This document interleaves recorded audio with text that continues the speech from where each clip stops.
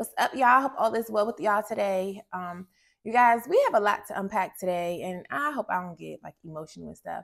But it's actually a sad, you know, situation for our community. But there is a spiritual attack on our community. And yesterday, I posted a video um, that I actually have recorded almost. It was like a year and a half ago at this point because it was November 2022 when I recorded that video. Um, you know, because me going on my spiritual journey, when God moved me away from Maryland to Texas, you know, He told me to go. Um, I didn't understand exactly what I was going to have to go through when I went into my wilderness season. And I'm telling you, in this season, I have had to unpack so, so, so much stuff that I never knew I was dealing with. And this is something that we have to do to truly prosper and to truly walk into full alignment with God's will to truly reap the harvest and fulfill the and feel the fullness of the blessings that he has for us as his chosen people. Us as the black sheep, we're his chosen ones, but the black community as a whole, we are his chosen people. We are the real Hebrew Israelites. We are the people of this book. We are the biblical Israelites. We are the descendants of them. America is our promised land. It's our land flowing of milk and honey. And in this land, we're not prospering fully in this land. And we keep asking for reparations and all of this and all of that. And we won't get it because we still is not serving the one God, our God. We serving different gods. The habitual idolatry that got us into this curse is the same idolatry that we continue to do. And it's hindering us as a collective. And because we don't have our covering from God, we're not, it, it's, it's a mess. When I just sit back and see it from the spiritual aspect, I mean, like you have to understand that what's going on is a spiritual battle. That's why it does not matter how much therapy, how much everybody get on these podcasts talking this and that until people learn that this is a spiritual thing, until people awaken to spirituality, until people learn that we are mere spiritual beings just operating in these physical bodies they we won't understand what what this is really all about. We won't understand it. And the issue between the black man and the black woman is so deep is so deep rooted but we don't have no clue on that because we don't know who we are and we perish for a lack of knowledge because we don't read. We don't read our Bible for ourselves. Many of us don't even believe in the Bible anymore because of religion, because what religion has done using the Bible and using God's name. Many people have turned away from God. But my thing is, my stance on that is many people do you wrong and you don't turn away from them. If you feel, if you turning away from God because you feel like somebody else that's supposed to represent God did you wrong that that's not a valid reason because you must understand that these people are not god. These people are vessels being used by god and these people are operating in human bodies. They um, they're made of flesh and no flesh is ever going to be perfect. It don't matter if you're being used by god or if you're not you're not perfect. So you're going to be faulty that's just a flat out fact. But if you have a relationship with the Most High yourself, you won't have to rely on mere humans for your guidance, for your comfort, for your safety, for your provision, for your protection. You won't be relying on mortals for that. And, you know, in my last video that I just dropped, a uh, judgment on the women's judgment on the women's pride, it came from um, Isaiah, page 771. It was Isaiah chapter 3 verses 16 through 24, and it was judgment for the women's pride. And God had led me to, I, I recorded that video back in November 2022, but um, what I've been going through like the past couple weeks and just revelation that God has been giving me throughout my journey, and especially more, you know, recently um, when it comes to my own relationship with men, and more specifically with my second baby dad. Um, the revelation that he's been giving me is just it, it, it, he led me to post that video that I have been recorded, but because of pride, I was not about to put that out. Um, and it just wasn't the time, I think. And that's why now he led me to go ahead and drop it because I had to get clear on some things. And there is still some things that I'm not all the way um clear on, which is like I say, you guys, that's why when you need clarity on stuff, you you need to go into fasted states. You have to fast for some of the revelation that you need. Fasting and prayer together is going to release a lot of information to you. And when you seek God wholly with your whole heart, and you really want to unpack some things and you really want to know, you know, who you are, why you're here, what you're called to do, why this, why that, you have to call on the Lord. Like it says in um Jeremiah, let's see if I can flip to it right quick. Think it's Jeremiah 33 3 or 3 3 or 333, one of them. Um, yes, Jeremiah 33 3. So number 333. Call to me, and I will answer you and show you great and mighty things which you do not know. It says, Call to me, and I will answer thee and show thee great and mighty things which you know is not. Basically, it's saying, Call on him to know the things that you that you don't know. If you want to know certain things, you must call on the Lord. But the thing is, a lot of our men and our women, I'm, I'm telling you, it has taken for me to get this relationship with God to build up my relationship with God, to realize a lot because I didn't have a father that disciplined me. So a lot of things when it comes, especially when it comes to men, um, and you know, we have a lot of misandry and misogyny going on out here within our community is so much strife between the man the black man and the black woman and that's nothing but a spiritual attack. You you know that it's a spiritual attack because it just like it don't even really make sense on how two people can be going so hard against each other when really we want to be together but it's like a force that's keeping us apart. That's how you know it's a spiritual attack. When you want something really bad but you you not getting it that is a spiritual force that is affecting that. And my relationship with my second BD is what made me realize it's a we both understand that it's a spiritual attack on our union. And a lot of times when there's a spiritual attack on you as a singular, you know, as a single person or in a union, it's because the enemy knows that when you two come together or when you truly come into um, you know, fulfilling your purpose, because even as a single person, like you will have a lot of spiritual warfare because where God, what, what your destiny is, where God is calling you to, the higher heights that He's calling you to, you're going to ultimately upset the kingdom of darkness because more than likely you're going to be exposing some things of the kingdom of darkness as the chosen one. Y'all know our job as the chosen ones is to expose the darkness um, and to reveal truth. We are the truth tellers. But when it comes to the union, when God knows, I mean, when the enemy knows that you two are going to come together to produce greatness and to especially expose a lot of wickedness and to bring people into alignment with with who they really are called to be because the whole agenda of the world of your gov officials they don't want people to really truly awaken. They don't because when you awaken you're going to realize who the enemy is. You're going to realize what you really have been dealing with. You're going to realize what we're really facing out here. You're going to realize the real world that we're living in. You're going to really realize what's really going on. And that's what they don't want you to do. They want you to stay sweet, which is why they contaminate the food, which is why they put all this fluoride and everything to keep you from awakening, to keep your spiritual eyes from never opening. Some call it the third eye, which ultimately we do have this. People don't, people like to, you know, crucify uh those type of terms because they you know but it's religious folks that really do that but we really do have a third eye it's really the way the body is is is constructed it we have that and until that opens until you get that awakening you're not going to see things for what it really is and you're going to keep getting finessed out here by them higher ups. Because we know we are not wrestling against flesh and blood but against principalities against powers against rulers of darkness against spiritual wickedness in higher places. We're based, we're facing spiritual wickedness in higher places and these spiritual beings that are operating in the dark force, they are inside of human bodies operating. They are in our government. They're in the FDA, the CDC. They're in these positions. They're in high places, in high um in high positions within the hierarchy of who runs this this earth on the earthly realm and it's re- it, they're poisoning mankind. And this is why, truthfully, you know, we have to be.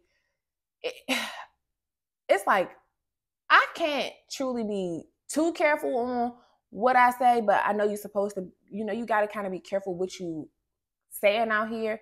And they even know that the 144,000 in the chosen in the in the book of Revelation, they know that these chosen beings, these chosen ones have the ability to awaken folk and give them knowledge that they don't want them to know. What they would deem as forbidden knowledge, but God needs his people to know these things. We have been shielded from knowing the truth about who we are for so long. And if you understand when somebody wants to hide something from you so much, it's a reason for that.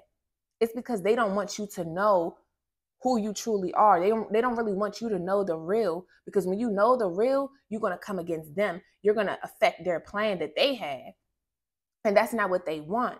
And we must understand that the attack that's on us and that you know god actually allows it to go on because we we won't submit to him. We won't come to him. We don't have covering by him. And when you're out here as a spirit we're just spirits in these bodies that need spiritual covering. It's more than just having mere mortals because mere mortal human beings are lost. We know it's we know nothing. We know nothing we don't know half as much as we think we do because we don't even truly know who you are. So when you don't know who you are, there's only so much that it's only so far you can go, and it's only so much that you can teach to another person when you don't even know who you are. And you're going to be teaching things from a mortal perspective, from a carnal mind, because you don't have that spiritual understanding. You don't have that wisdom that only the Most High provide. God provides wisdom. He gives you that type of information. And we're not covered in our our men, the men out here, they don't they think because they were made in God's image that they are gods and that they don't need no covering. Everyone must have covering. There's always a a chain of command. You're always a subordinate of someone higher than you. Adam was a subordinate of a a being higher than him. He was the first man on earth, but it doesn't mean that he didn't have nobody that was over top of him that he has to submit to. And that's what I'm gonna read right here in um Isaiah right quick. Um, because it says, Woe to the rebellious children, said the Lord, that take counsel, but not of me, and that cover with a covering, but not of my spirit, that they may add sin to sin. When you don't have God covering you, you're going to be lost. When you have uh, any spirit, because it says they take counsel, but not of me. And many of our men out here, they're taking counsel from other lost men that has no covering from God. If you're not, everybody has to have a covering. And that's what I'm gonna get into with the women. So we're gonna we're gonna talk about this video probably will end up getting long. Um, but we're going to talk about the men and the women. Um, because it, it really go deep. And until you truly, until you truly understand and and get to the root, there's no way you can fix things. These podcasts that sit around talking about things from a carnal mind and from, you know, it's like we're not gonna get no solutions. Seeing all the bickering, when I was seeing some of the the, the the comments sometimes, or if I see like a video on Instagram and see this stuff, I just be like, this is pathetic to see in the comments how it's the men and the women going at black men and black women really going at each other because nobody wants to take accountability. It is both of our faults. God is angry at the black man and the black woman because we are both his. We're both his. But black men, he is really angry with y'all because y'all don't seek him. And then it be these same people. I see it in the comments. It be these dudes, and it don't be my comments, but I'll see it in other comments. And it was a guy. A couple guys have said this that uh, a woman not supposed to be preaching. A woman not supposed to be doing this. Y'all keep saying what a woman not supposed to be doing, but y'all that God called here to be the leaders. This is in Samuel. This is what I'm saying. Until you start reading your Bible, baby, shut up. You cannot give no advice if you don't have spiritual understanding from your Bible. Shut up. You cannot speak. Y'all did not want to lead. Y'all still don't want to lead. Y'all won't answer the call. Look how many of our black men are, are called to be prophets amongst the nations, like Jeremiah, like Isaiah, like many of us women. But I see so many women stepping into prophecy. The men don't want to lead. You don't want to teach. So God, God's will must be done. It don't matter who he has to use. His will must be done. So if he's put, if he's urging his sons the sons of men that he made in his image, if he's telling y'all, he's urging y'all to get up and answer the call in your life, to get up and do what I told you to do, to get up and have the dominion and authority that I called you here to have, and you're not doing it, he got to use somebody. He's going to use the women. I'm not supposed to be doing this. There's no reason I really should be doing this. There's no reason that I should be having to be responsible for reading all of this book, for breaking it down, for all. I, this is he was talking to men in this book. He was not talking to a woman. His word was to men and men to men. The Israelites were led by men. He was talking to all the sons of Jacob, all the men. He was never talking to women in here. He was never talking to women. But y'all won't step up and lead. Black men have a true issue with leadership, with proper leadership. And then you wonder why the white man has to lead, and the white man, when the white man has to lead, because the white men are willing to lead. They're willing to lead. I just observe it everywhere in the world. I'm like, dang, where do where's our men at? Like, I just be like, where are y'all at? Where where are they at in the world? When I'm out here just observing as I watch them just build the world and even with that thing that just happened with the bridge in Baltimore, and I see who out there on the site cleaning, like who getting it. I'm like, it's always white men. Like, where do where do my men be at? Where do we be at when it comes to the the world? Where where are our men at? Even on YouTube, you know, I do see a couple guys that's up here, you know, doing their prophecies and stuff, but God called men to lead, to lead over the women. But y'all are not doing that. This is the reason we in this situation now in the book of Samuel. When they was saying, y'all kept wanting a king because you don't want you don't want to take direct leadership from God. Why not take direct leadership from God? Why not get into your quiet space and take take direction from God? Why are you looking on YouTube? Why are you looking to to people in the world that's just like you, mere flesh. Why are you looking to them for leadership when you can you you have the the the blessing of the most high spirit, the most high God to cover you fully, to lead you fully. I mean, I'm experiencing it myself because people don't like they feel like God too hard. And I too be feeling like God, you too hard on me. Like you you too hard on me sometimes, but I know it's pruning. It's pruning. It's really getting me to where I need to be. It's stripping me, but stripping me from all the, the negative flaws, the, the character flaws that I have. It's stripping me and giving me true understanding. And, you know, that's what we're going to be talking about in this video. It's like, when you feel like you above reproach and nobody can talk to you, nobody can correct you, nobody can discipline you. Oh, I just got all this free will. We be having free will and you choose to do wrong things with your free will. And then when you fall and bust your butt because of your free will, you looking to point the finger at everybody else instead of going within. And that's a couple things too. When you vow a vow, you when you under when you have no covering, you're responsible for your own self. You you have no covering. You're not covered by God. You're not covered by your husband. You're not covered by, you have no covering. A woman is supposed to be covered by her husband, and a man is supposed to be covered by God. When you don't have no covering, that's why the devil come in and eat you alive. You're not covered by nothing. You're not protected by the kingdom of heaven's powers. So now you free game. You bait for the kingdom of darkness to come eat you up. And that's exactly what he be doing. The kingdom of darkness be eating our community up, eating us up. The men and the women, just looking at it out here, it's just, it's a mess. It's a complete lack of covering, lack of discipline, and it's just wild. It's corrupt. And this is exactly why judgment day is coming upon the land. This is exactly why it's a mess out here. There's no structure, there's no order in the black community. And we don't know how to come together in a healthy manner because we don't understand truth, accountability, responsibility.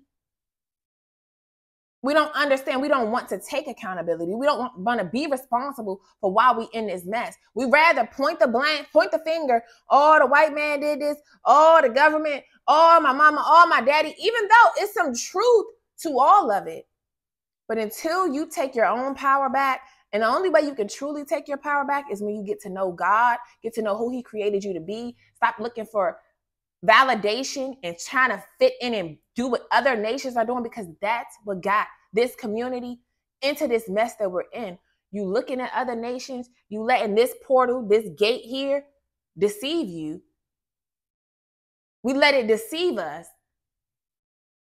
Like from the beginning of time, Eve let this deceive her. And you seeing what these other nations are doing and you want to be like these other nations, but you're set apart. Even us as the chosen ones, as the black sheep, we be like, why do everybody else, why everybody else get to do this? You know, why why they get to do this? And they, they say that they Christian, they say that they this religion, or they say that they believers, they they get to do this, and I don't, and and I get convicted so heavy for that. I can't do this, but they can do this, but they they saying your name and then they saying that you giving them these blessings and stuff, but yet I'm going through this long journey. I'm going through all of this, and they get to do that. And God be like, You're not them. You're you're truly mine. You're truly mine. I don't know who blessing them folk. Because that ain't me. That's another deity that's blessing them. And after I saw this video yes the other day about Christian witches, I said, because they really be serving multiple gods. You cannot have two two masters. You cannot serve two gods. There's not like there's only one true true God. So when you serving all these other gods, idolatry, this world, it's just. And I'm listening to the, the, the when they say this, I'm like, they so they say that they pray to the Creator, and then they also pray to this God and that God and that God because they all have their different powers, you know, and which is true because God gave authority to everything, every celestial object, the sun, the moon, the, there, there, there, there's just stars. Everything does have a power. Everything, because everything has a responsibility. Everything has uh, but God, the creator, gave all these things its power. And you're supposed to be worshiping the creator who gave all these lower beings, these lower deities, their powers. But when I saw that, I'm like, child, and y'all wonder why I will never say, I'm not, I'm not putting myself into none of those categories. I'm not saying I'm Christian. I'm not, because I'm not. If this, if this is what go on in this stuff, and it's so corrupt in these religions, because instead of speaking truth, each religion and each denomination got their own thing like to, to push narratives in their own ways this is exactly why God keeps reminding me you're set apart, you're different. And that's what He needs the whole Black community to understand. We're different. We were never supposed to be trying to be like the nations. We were never supposed to be trying to be like white folk. We were never supposed to be trying to be like the Gentiles. You were you were specially selected. He chose you. You're holy to him. And when you're holy to him, you can't do things that defile you like they do, taking on their practices, which is why they're defiled. But because we, wanted to be like them, okay, I'm gonna give you over to them. You want this so bad, all right, I'm gonna give you over to them. And now look at us, wanting to be like these other. We're corrupt. We're broken. We're divided. We don't have no covering, no covering. Which is why we're vulnerable. Why there's so many lost souls out here. Don't know where you coming and going. If you don't know your purpose in life and you're not walking in your purpose, you're not working in your purpose, you are lost. If you're doing anything in life just for money, you are lost. You are serving two masters. You cannot serve the God Mammon, who is the promiser of wealth, who is the God over money, the God that will get you to doing anything for money. It's you're serving a different master. You got to know who you serve. And when you serve God, when you serve the Most High God, I am that I am, when you serve Him, He is your provider. He is your protector. He is your savior. He is your redeemer. He is all of that. I'm just living it. I'm experiencing it. I can't speak for nobody else. But when you fully submit to God, the Most High God, you understand what full what it what you understand what it's like to have true coverage. You under you you feel the covering on you. And if you don't feel protected, if you feel like you alone, it's because you're not you you must not be under coverage like you're not fully submitting to God's will for your life. You're not we're, we're not we're it's just it's a mess out here. We're not fully understanding how blessed we are that God has chosen our people. He has chosen us. And we have greatness that is promised for us, that's stored up in the heavens for us, but it will not be released because we are continuing to do things that is not acceptable and not pleasing to Him. And oh, I'm going to read I'm going to read this because this is exactly what we're talking about. Isaiah chapter 30. Y'all make sure y'all read this on your own time. Um it's like he he just he's so disappointed in us. He is so disappointed. You know, and before I I, I really let me let me just read it because it's just it's just pathetic how how messed up it is and we wonder why our relationships won't function properly. It's because God is not going to allow it to until we put him first and stop idolizing one another because we were never supposed to idolize men and men were never supposed to idolize women and that's not he gave us here to for each other to be of benefit to help to produce his will to make his visions reality, for us to carry out his plans. It has nothing to do really with us. Um, you know, and it's it's it's just really sad, you guys. And this is just something that I too have had to learn in this season that the things that God is not pleased with me about, the things that I needed to change, the things that I need to to get rid of that is hindering me. And like I told y'all, especially as the chosen ones, things that hinder our anointing, things that prevent you from being able to truly walk out in the your calling, to truly be able to answer the call and truly fulfill it in the utmost way. And when he's taking you through that pruning season, he's teaching you a lot about yourself. He's teaching you things that you did not know, like we just read with Jeremiah in Jeremiah 33. He's teaching you things that you did not know. He's giving you a new confidence. He's giving you, he's cleaning you up to position you for the, the new position that he has called for you, which for many of us is to be prophets and speak and not just speak to get um recognition, vain recognition, and trying to, you know, just hoarding and foster in these any type of attention and, and fame and notoriety. No, it's to speak truth it's to be truthful about what's going on. It's to use your voice for the right reason, not just pandering like everybody seems to do online. They pander to one group so they can get foster in followers and foster in the dollars. The, the, the motives behind what we do is what God is judging. God weighs the motives up the motives of the heart. He is weighing the motives of your heart. So if you go into anything and your intentions about why you're doing that thing is not pure, is not genuine, you will surely pay for that. You will surely pay for that. You know, and this is what it's talking about in Isaiah 30.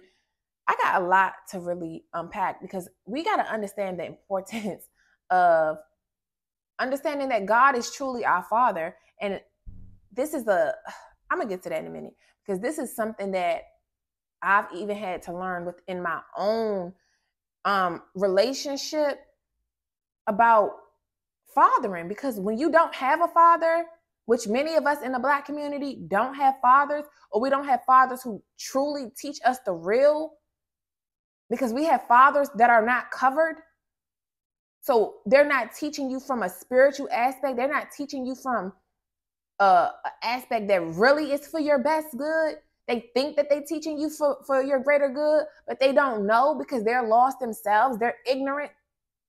And we perish for a lack of knowledge. This community continues to perish for a lack of knowledge. And the one knowledge that we don't have is this spiritual understanding. We don't have that. And it's because we so busy listening to everybody else. We looking to your mom, you looking to your dad. But when you when you look to these people, sometimes they have your your best interest at heart. And sometimes they can give you some good sound advice. But a lot of times the spirit that's operating in, especially as the chosen ones, the black sheep who have narcissistic parents who allows the enemy to squat in them and wreak havoc on them and then wreak havoc on us, to shun us. Taking advice from them is detrimental to your health, is detrimental to your relationships, is detrimental to your whole well-being when you listen to certain type of folk. That's why you can't listen to everybody. You have to make sure you're going to God yourself for instruction. And this is why I always tell y'all develop a relationship with God for yourself. And if you don't know how to do that, that is what my book is for. My ebook, Seven Keys to the Kingdom, the blueprint to growing an intimate relationship with God, is in the link in the description box. It's going to give you all this information. It's going to go over how to have faith, how to repent. Because until you repent, you think that you can get away with doing all of the stuff that you have done and never repent for it. And you think you're going to have true coverage. You think you're going to truly be able to walk in the fullness that God has for you. You think you're going to really truly get to eat from the tree of life and you never repent for your wicked ways and you never try to turn away from them or fully just turn away from them. Yes, God will give us grace and He has mercy on us. But when you are habitually doing the same things and you're not putting no effort in, God knows your heart. He knows what you're really feel inside. He knows when you're genuine. He knows when you're really trying. He knows when you're trying to finesse him. He knows when you're trying to treat him like a genie. He knows. He is omnipotent. He knows everything. He knows everything. He is the all knowing God. There's nothing that you cannot trick him like you could trick man, like you can trick women. You cannot do that with him and think that he doesn't know. He knows. He knows. And when he knows you're trying to play games, all right, you want to you want to play games with the master, the one who created the game, the one who know all the secrets to the game. You're playing a stupid game and you're going to win a stupid prize every single time. And let me read this right quick. Um, I don't want to read all of it, but it says trust the Lord and not Egypt because a lot of times we like to trust in what we thought we knew, what we learned from people who really didn't know things. And this is the problem too within our community. We have to unlearn so much. We have been taught nothing but lies. In our education systems, we've been taught lies. In our families, we've been taught lies. In church, y'all been taught lies. And that's why we're perishing for a lack of knowledge. Knowledge is truth. If you're not taught truth, then you're taught lies. And lies is why you're deceived. And lies and deception is why you're corrupt, is why the nation is corrupt because of lies. You have to unlearn the lies. You have to learn truth. Truth is the only thing that's going to set you free. And the Lord is the, is the spirit of truth. Is the spirit of truth. Because truth is the only thing that's going to set you free. Trying to hold on to lies to feed your ego to, so you can never have to deal with the, the, the real things that's truly hindering you. You're only doing yourself a disservice. You're going to wonder why you keep wandering around in your wilderness like the Israelites for years and years and years. Why you can never have functioning happy relationships. You're wandering around and then but you're deep down you're you're desiring these relationships or you're desiring, you know, whatever you're desiring and you wonder why it can never truly come to fruition is because you're not learning something, you haven't unpacked something, you're running you're running from truth. And you know, I'm to get to that in a minute because this is what this is what I had to learn everybody else trying to control me, everybody else trying to tell me. It took for the Lord. The Lord, like when you have an issue with me, you can't go to my earthly mother, my earthly father. You have to go to God about me because That's the only one that can really chastise me. That's the only one. That's the only one. And when you have an issue with anybody in the world, you wonder why people aren't hearing you because sometimes we don't hear the way we need to hear from mere mortals and especially those that are closest to us for whatever reason and, and two we're going to get into that a lack of trust with those that are closest to us you know? Um and which i'm gonna be talking about that's why this video actually might end up getting like two hours um honestly because it's it's real it's it's real issues that we're facing that is really affecting both the men and women in our community the reason why we so divided. And a kingdom divided cannot stand. A kingdom that's divided cannot stand cannot have true authority cannot take over cannot know it's it, you won't know your worth. You won't be able to come together to even defeat the enemy. We divided amongst ourselves. We're quarreling and, and have strife amongst ourselves and we don't even know why we it's like we want something so bad but we cannot get it that's how you know it's a spiritual attack and you're going to keep getting attacked until you know why you're being attacked and until you face those issues head on so let me read this to y'all because it says, Trust the Lord, not Egypt. Um, Woe to the rebellious children, said the Lord, that take counsel, but not of me, and that cover with a covering, but not of my spirit, that they may add sin to sin. So when you take covering, when you get covering from anybody else other than God, that is sin to him.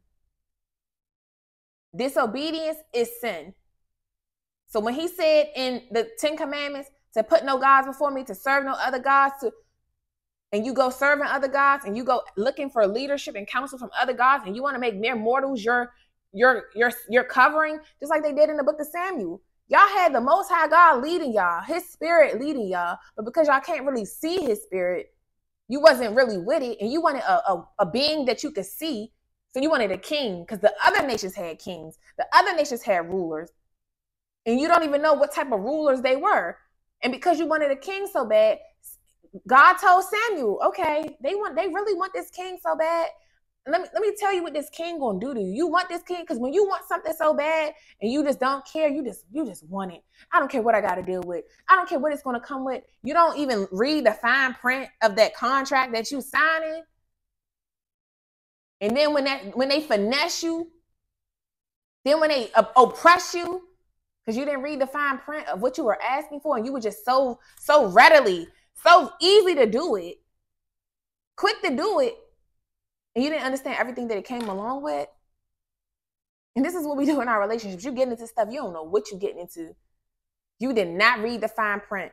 And in these terms, you didn't pay attention to all those red flags, those patterns. You overlooked it because you were desperate. Look how many women you desperate for marriage. You see so many things before you even walk down the aisle. You see so many things before we have these men babies. We see so many things beforehand, but we just like, ah, ignore that. I mean, ignore the fine print. Red flags is the fine print. I'm gonna ignore that. Men too. Y'all see so many. You see traits that she, she's a thought pocket. She for the streets. She had the spirit of Jezebel. She got the spirit of Delilah. She here to snake you. She here to only take from you. She here to find your strengths and, and, and weaken you. She here to take you for everything you got. And because as much as people talk about Jezebel, that Delilah, many men have Delilahs, especially when they get up in status a bit. They only gonna get Delilahs that's coming after them to, to ruin that empire that you build. That's why if you don't have the right person on your team and you go into contract, you marry with people, have children with certain kind of people, you are going to reap a bad harvest off of that bad investment that you made. You signing bad deals.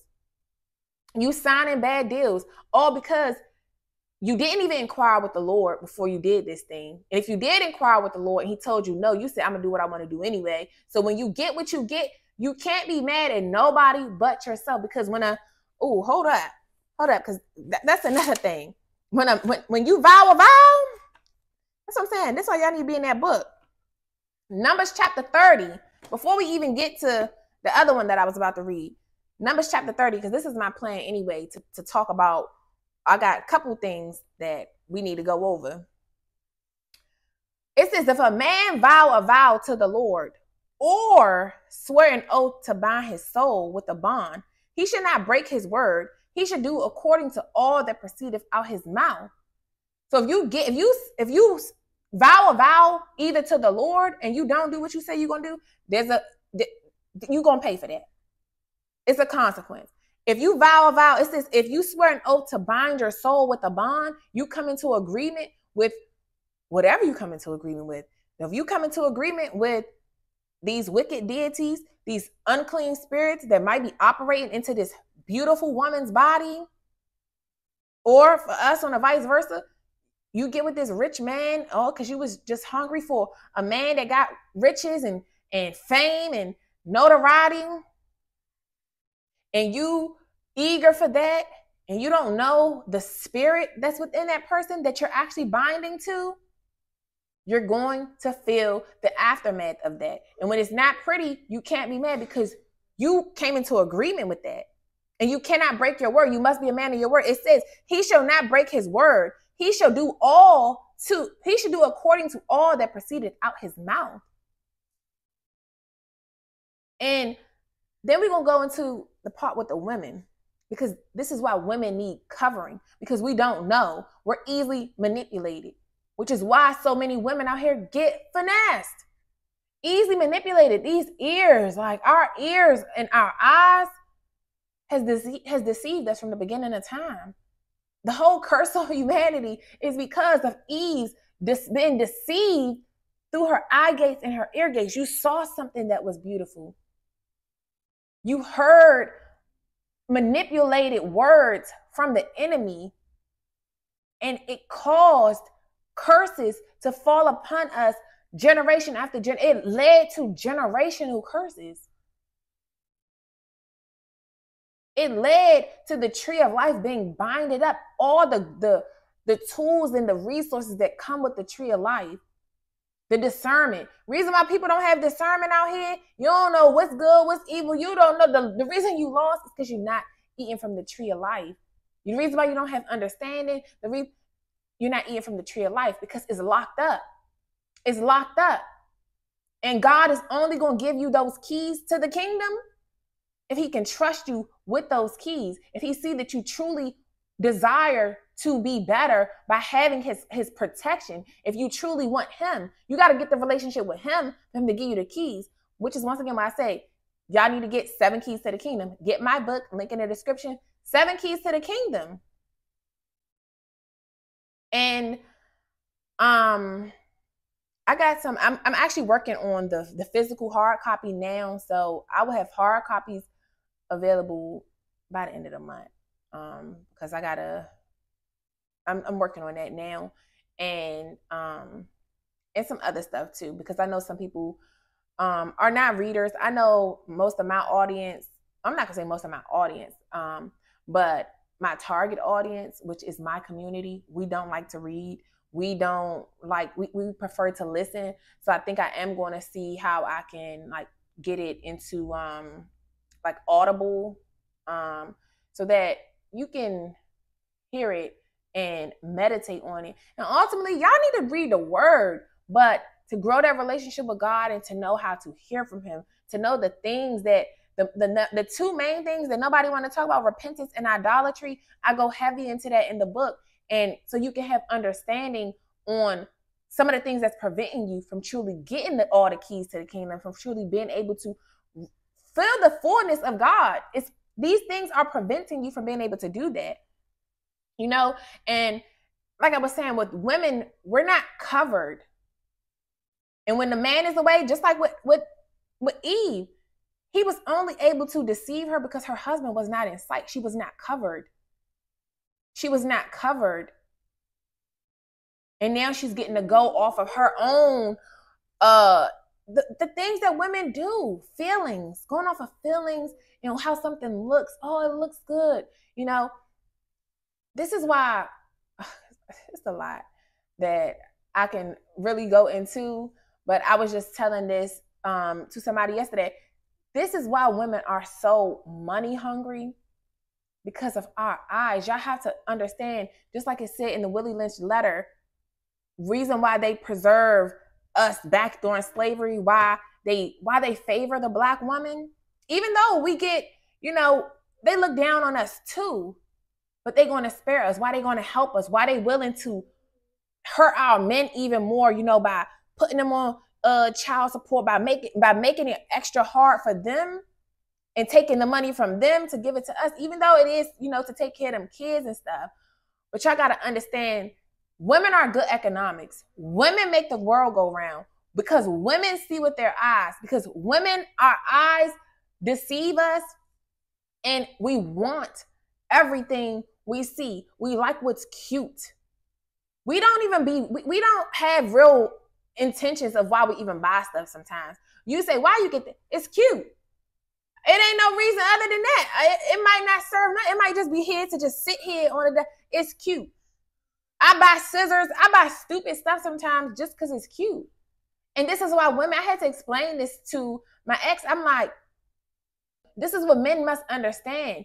Women like things that are cute, and the world is it. It bombards us with things appealing to our eyes. Go into any store. Go into any store Who's in the store shopping? Who's in there shopping? Even when men are doing stuff, it's for women. They're not building houses just for themselves. They're building houses for the women. Because the women are the ones that's gonna go inside and decorate the whole house. Women are the ones, men, men don't even rarely live alone. Most men have never lived alone. We, though, we have lived alone. Men, most men, they're not doing buying houses unless they got a woman. They're not doing all of that stuff unless they got a woman. They go from one woman's house, their mama house, and then they go to live with another woman. And women make a house a home. So we so eager to for money because it buys us cute things.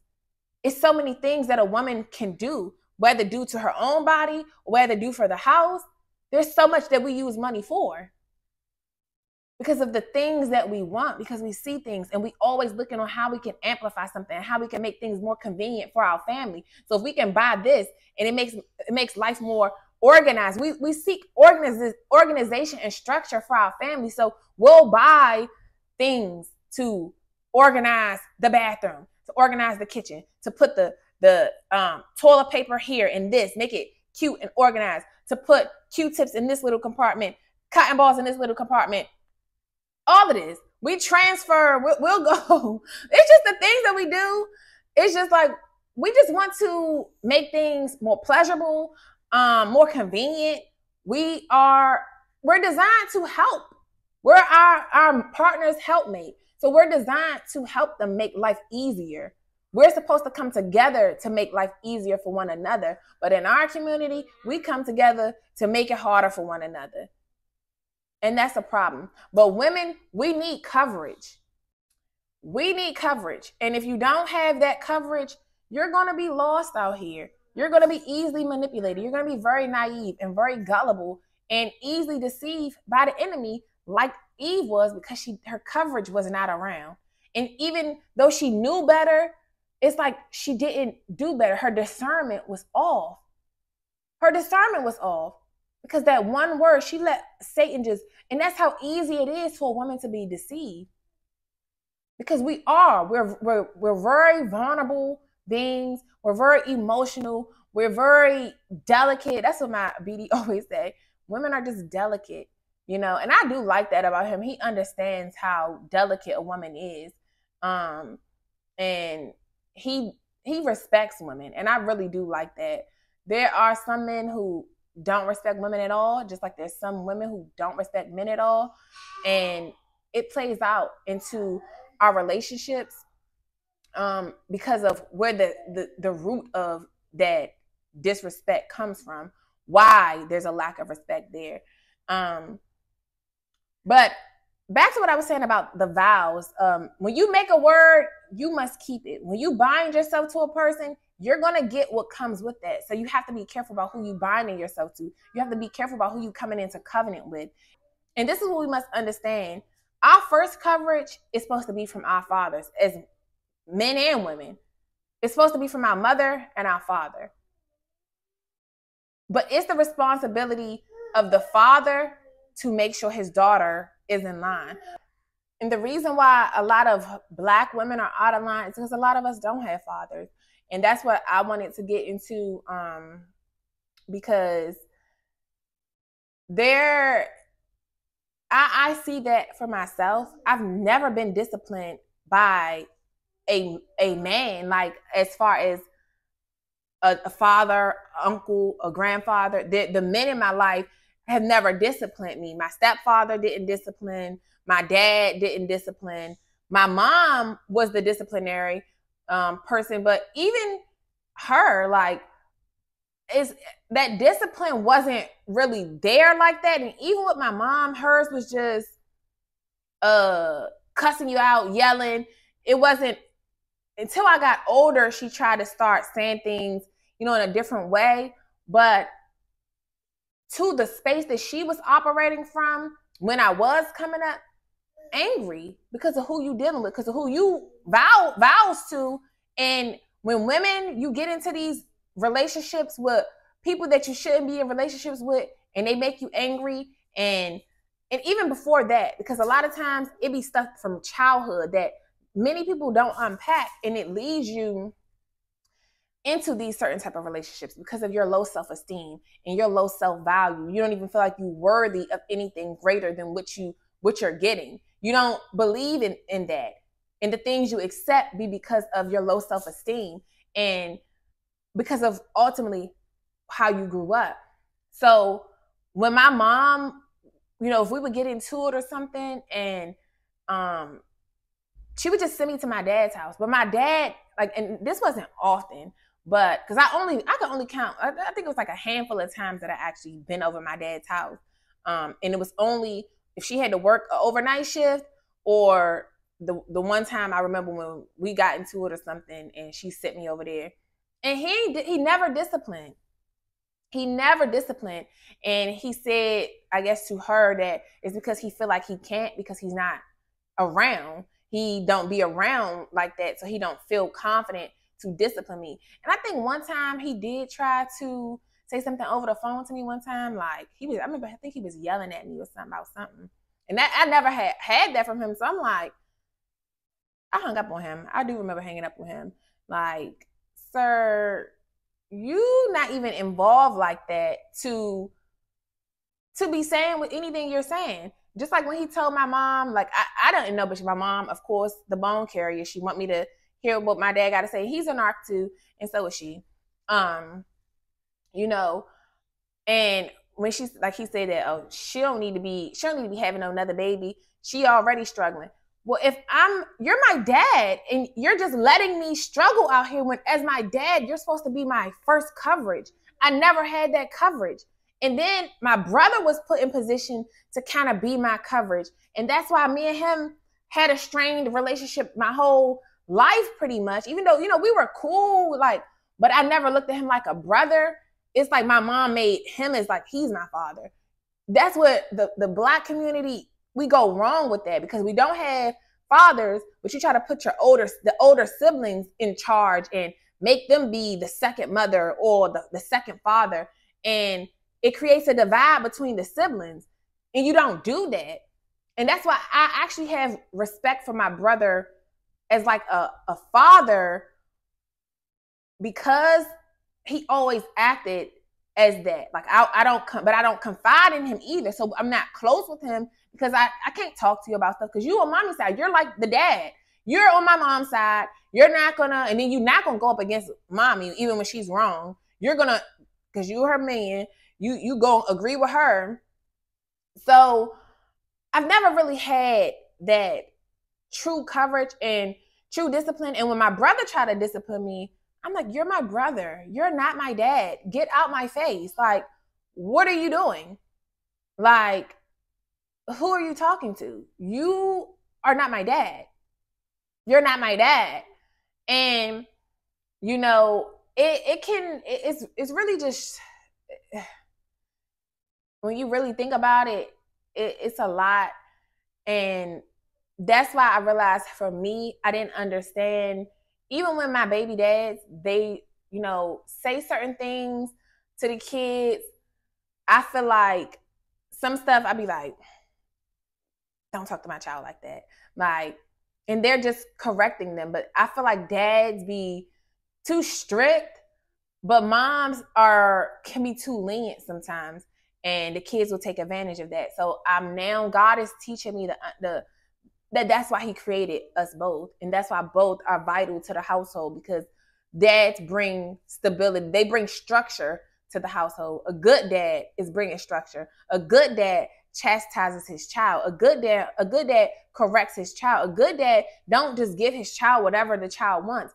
And because I understand how God treats me, I, I never had a, a father's coverage and a father's love until I got my relationship with God. So now it's like I'm understanding more through my relationship with God and seeing how He treats me is how a father is supposed to treat their child, especially their girls and their boys, both of them. And that's a lot of the problem with me, how I feel about these in our community.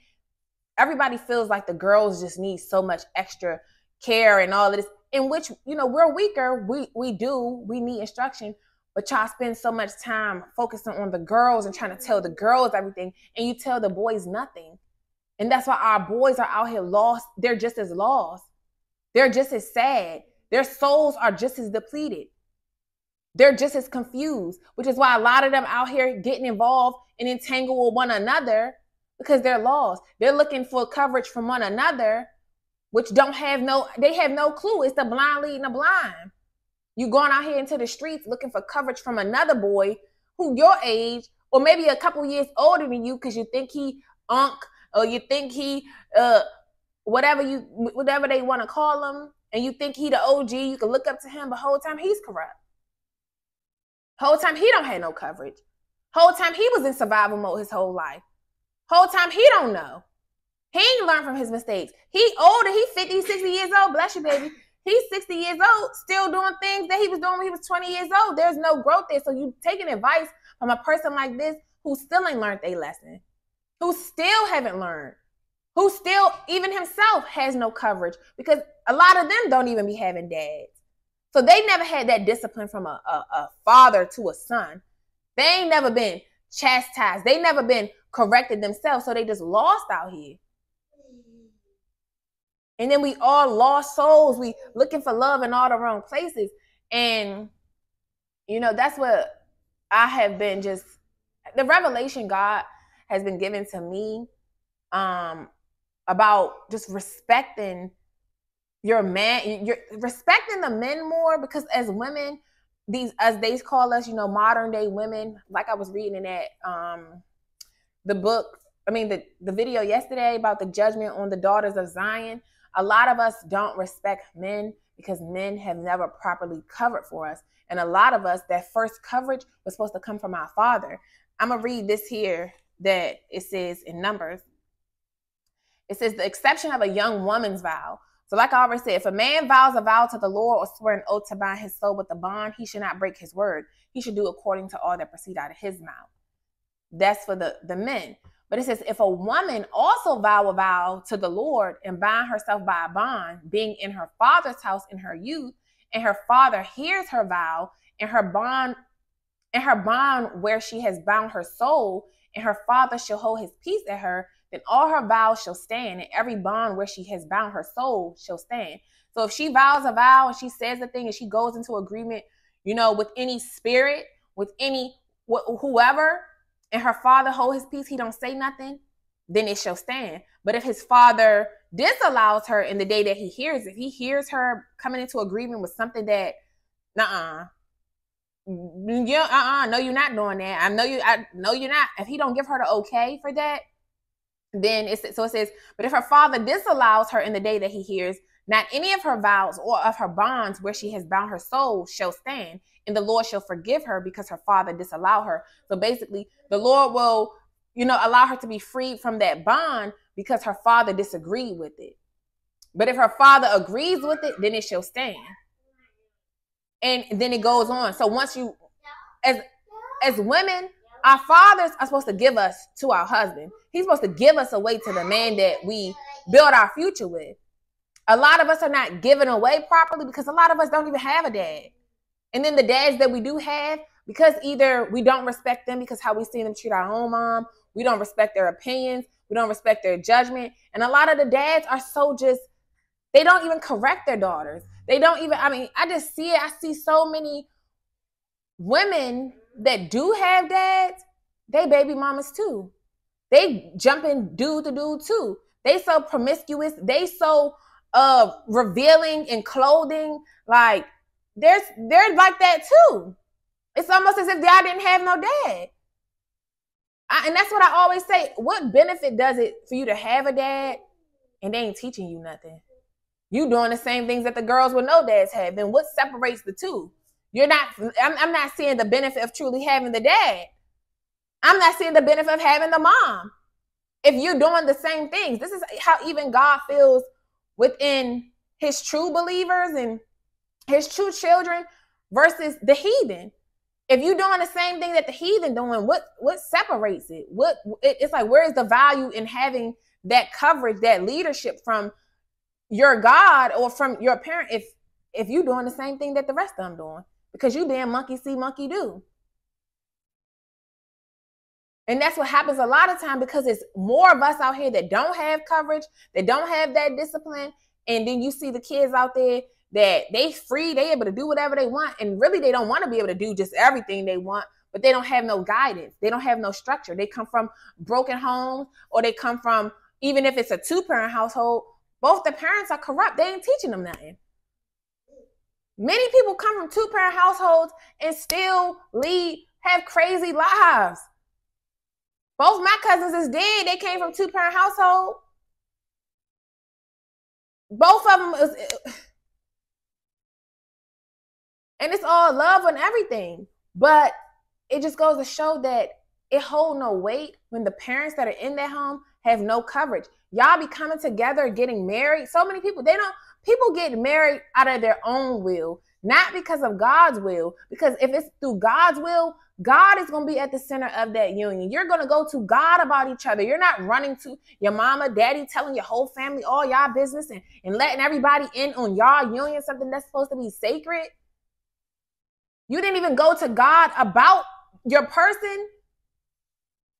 God, if God ain't in that, then don't say that. Oh, let what no what God brings together, let no man separate. God ain't bring y'all together. You brought your own stuff together, and Satan probably brought you together.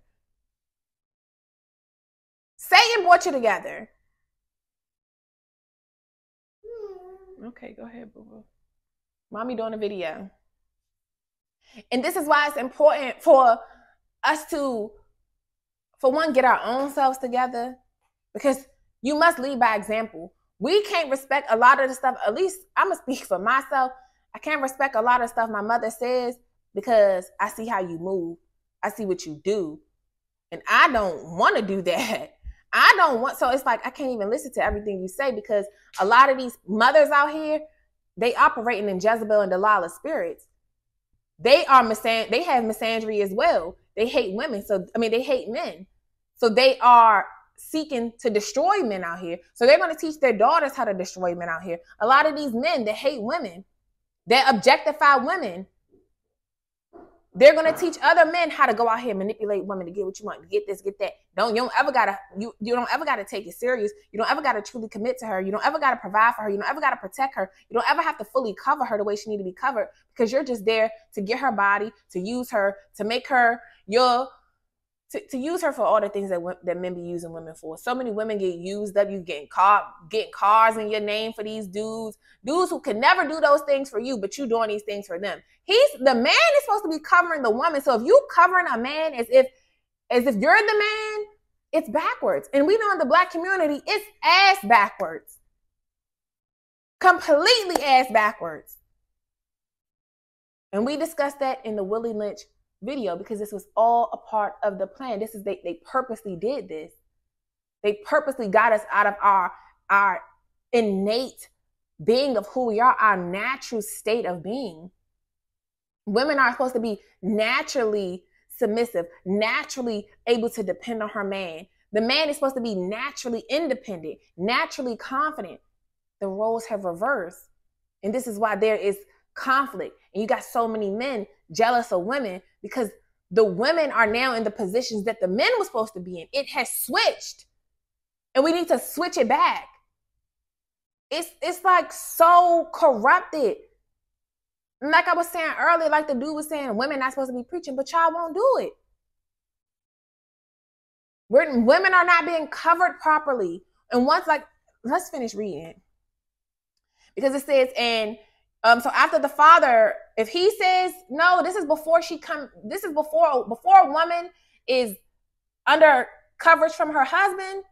You're supposed to be under coverage from your father. Many of us ain't never been covered by a father, and then it makes it hard for us to be covered by a husband because we don't even know what true coverage looks like. And sometimes what we think is uh controlling is just coverage. It's just protecting. And a man that loves you and is and God has put him in your life as your protector, he's not going to just be allowing you to just uh wear all these slutty clothes. He's not you shouldn't even want to. And when you get that Jezebel and Delilah spirit up off you, I'm telling you, because I had that spirit.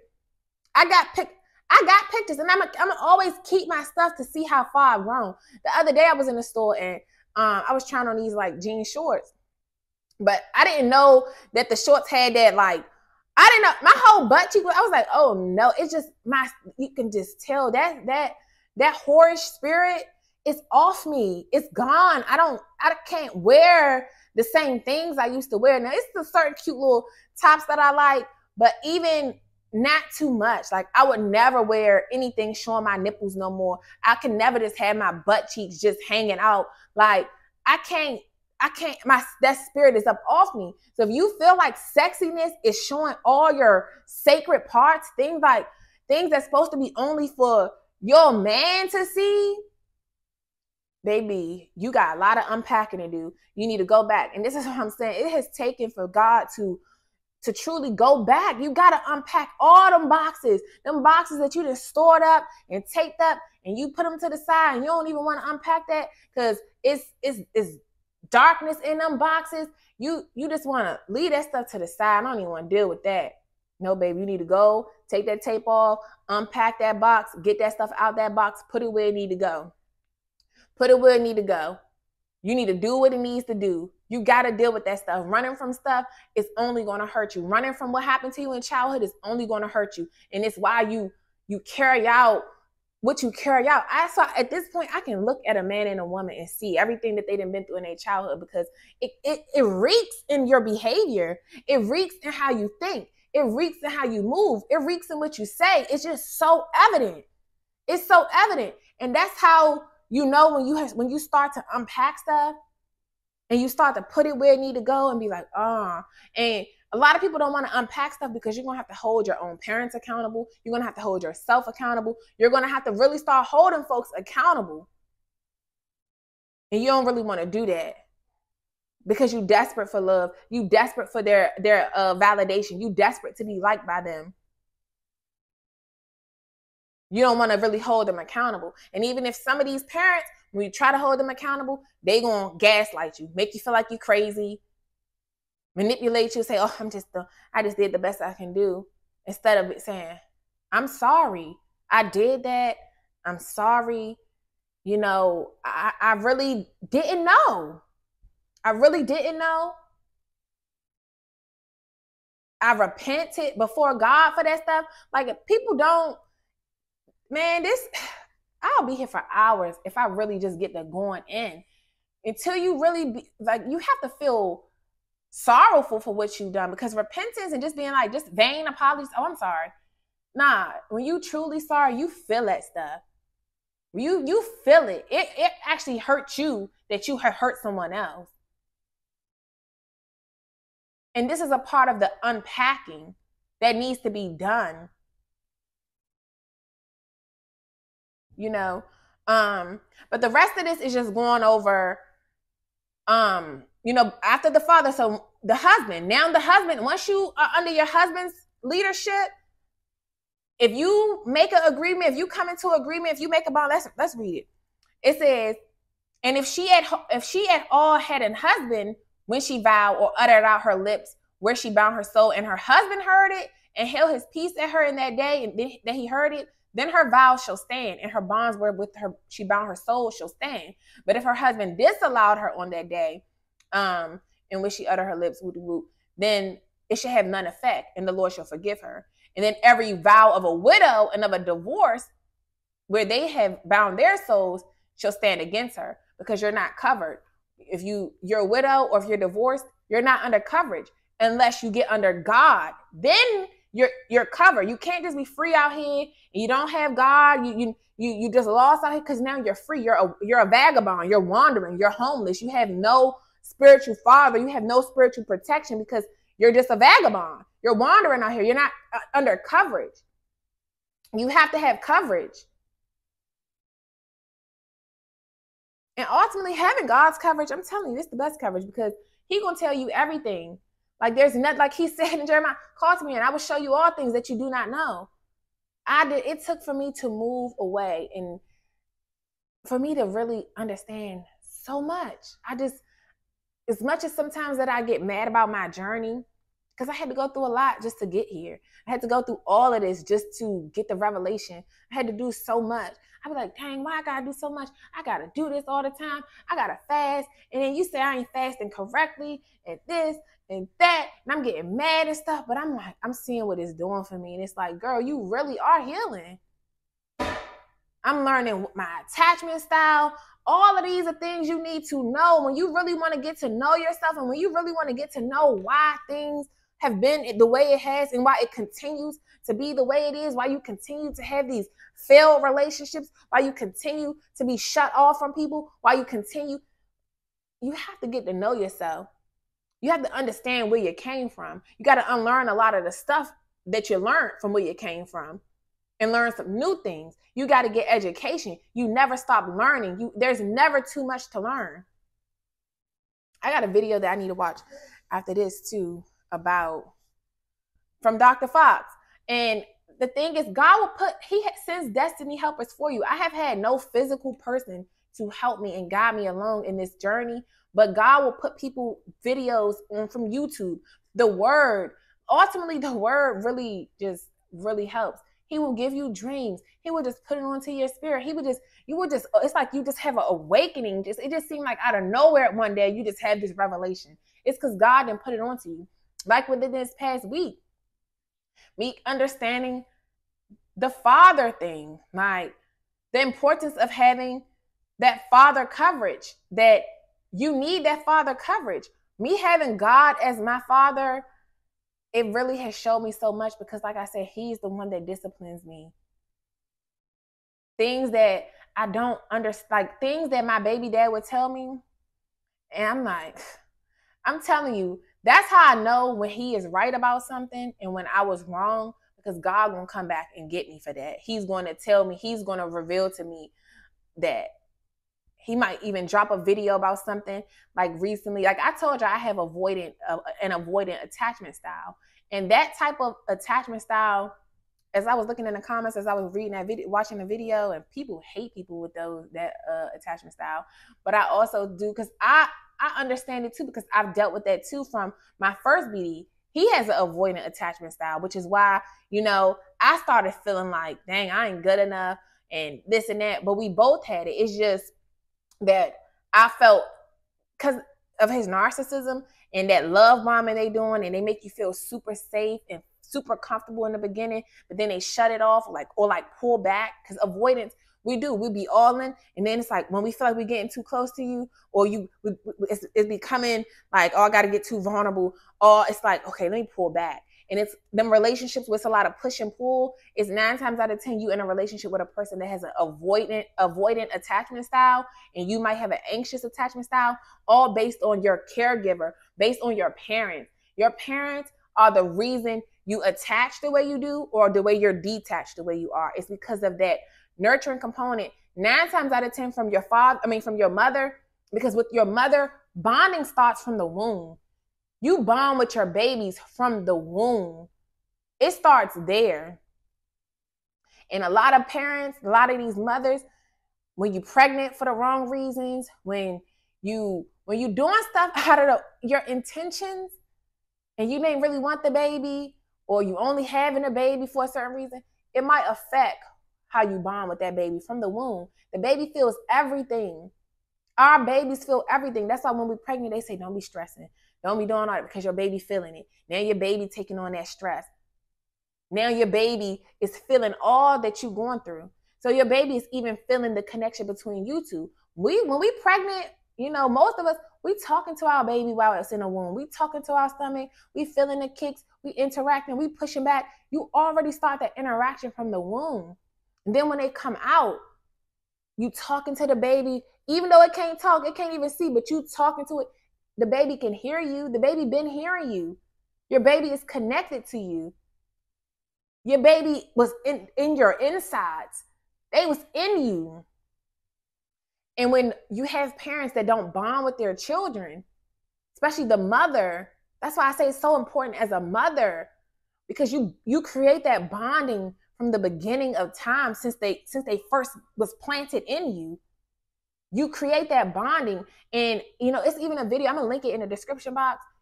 Um because it's a video out here on, on YouTube about them doing a, a like a um a demonstration like they were showing how the baby depending on how the mom treated the baby tr- was affecting how the baby reacted if the baby was calm the baby felt safe like we truly do have impact on our children from the from them being infants i mean in the womb as they're developing. In our womb they're developing. We're creating that that bonding moment. So a lot of times we're disconnected from our parents because of the lack of bonding you know the the lack of nurturing from our moms. And then when we actually come out into the world we begin to bond with our dad. That's why when, when the baby first born it go on the mama chest and then it go on the daddy chest. You know i know that's it's for bonding. They make the dad take his shirt off so he can too you know and i realized that with my daughter. I'm like my daughter has not my little baby she has not seen her dad in two years now two years in person. She see him on facetime and stuff but she has not seen him in two years. And like over the past two weeks or something like this whole time she knows who her dad is if i show her a picture she knows who her dad is and over the past two weeks she's really just been infatuated with her dad i'm like you know so this has been making me super emotional and that's why I'm like, we gotta figure this thing out, bro. Like, we we gotta figure we gotta figure this thing out because she does need you and you want her. And this is why I say I know it's a spiritual attack on this because it's like it really don't make sense why we be butting heads. It'd be like stupid stuff. It, it was never nothing truly, truly toxic in like a violent way or nothing like that for us to be at butting heads like that. And I also know that my attachment style has affected the relationship. I know, you know, he has he has affected the relationship too because of my lack of trust, but because I have a fearful, avoidant, disorganized attachment style. I took the test. Um, and this is stuff that you gotta do. You gotta be real. So when I was watching that avoidant video and I was listening to what they were saying, I'm like, dang, they talking about me. I really do have this type of attachment style that it's actually a detachment style. And it's like when you're getting close to something, you pull away from it. And you might actually care about the person, but you just fearful of it's a, like I have fearful avoidance. So I only avoid close connections because I'm scared that the close connection is going to hurt me in the end. And I might, you know, my abandonment issues play out in a detached way versus a getting clingy way. Whereas though these anxious attachment style people, they're afraid of abandonment, so they just they just cling on to people and they chase. They do a lot of chasing, trying to chase in the relationship. You do more chasing. As you chasing a person that's avoidant, you're like kind of creeping us out a bit, and it's like, come on, like relax, like because we do need space. And for me, when you respect my space and like understand that I do need space because it, it's the way we had to grow up, super independent, had to do so much for ourselves. So we're naturally, we just need that space. And I'm an introvert. So I need that space. And when you don't respect the fact that I need personal space, I do that even with my kids. I'd be like, come on, y'all all in my personal space. Like, it's a like right now, can I just have me my time? Like, can I just like you you overwhelming me? It's messing with my senses. You you're messing with me now. Like, back up a little bit.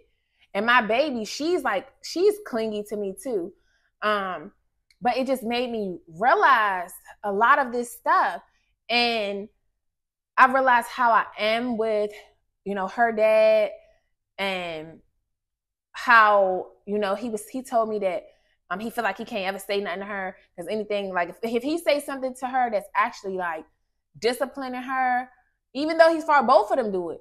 And I'd be like, because even from with my older daughter, if her she on the phone with her dad and she got her feet on the walls or something, he's like, get your feet off the wall, this, that, and that. And I'd be like, they always got something to say. Like they always, you know, but they're being they're doing what a father's supposed to do. I don't know that because I didn't have that. So, you know, I had to explain that to him the other day that I don't know what it's like to have a father. So me seeing you, you know, discipline, it's like, I'm like, do I need it? Because I'm a mama bear too. And because I never had that true protection that I wanted, I feel like it's my job to protect my kids from everybody in the world even if it that even if that's their own dads. Like there's no way I would let my kids' dads just abuse them or anything like that. They're gonna have to answer to me because you're not gonna just do that to my kids. But I also am learning God had to reveal this stuff to me. It's God, like God had to reveal this stuff to me this week. And he was like, and I had to think about it. Like the way God treat me, that's how a dad is supposed to be. God corrects me, God chastises me, He disciplines me. And it ain't in anger. They don't say it angrily to them because they don't have to. They're men. Their voice alone checks these girls, it checks them, you know? And that's the importance of the presence of a father. And that's why our kids do need their fathers. Just the simple, they don't have to be like, not all that yelling that we do as mothers. Men don't have to do that it's just something about their presence and about you know even with my daughter like she she don't talk that much. Like she talks but she can't sit and just hold a conversation with her dad but she just likes that he be on facetime. They'll be on facetime for like an hour. And now she's you know she about to be three soon. And that's why i say over the past couple weeks she just be like daddy she want me to call her dad all the time. She want to call daddy call daddy. And even if she'll just set the phone up and she go run around and stuff but she just and if she come back to the phone and he not there, she upset and she's like, you know, mommy, you know, call daddy, daddy. I'm like, well, he had he's he's busy, baby. Like he's gonna call you back. He gonna call you back later. She's like, and it's just like to see she just need she just likes to feel that he's there. Even us as women, you know how sometimes you just want you don't care if your man is in the room with you or not, you just need to know that he's there in the house. We just need the, the presence, the presence, you know? And even with God, like, we just need to know, like, send me a sign that you present. Like, he'll make it known that he's there. Even with me, when I'm getting mad at him and I feel like he left me, I'm feeling abandoned again. Like, a lot of times I get in this this mood with God because I be like, oh, this is happening. And it's like, I feel like you're, you, you left me.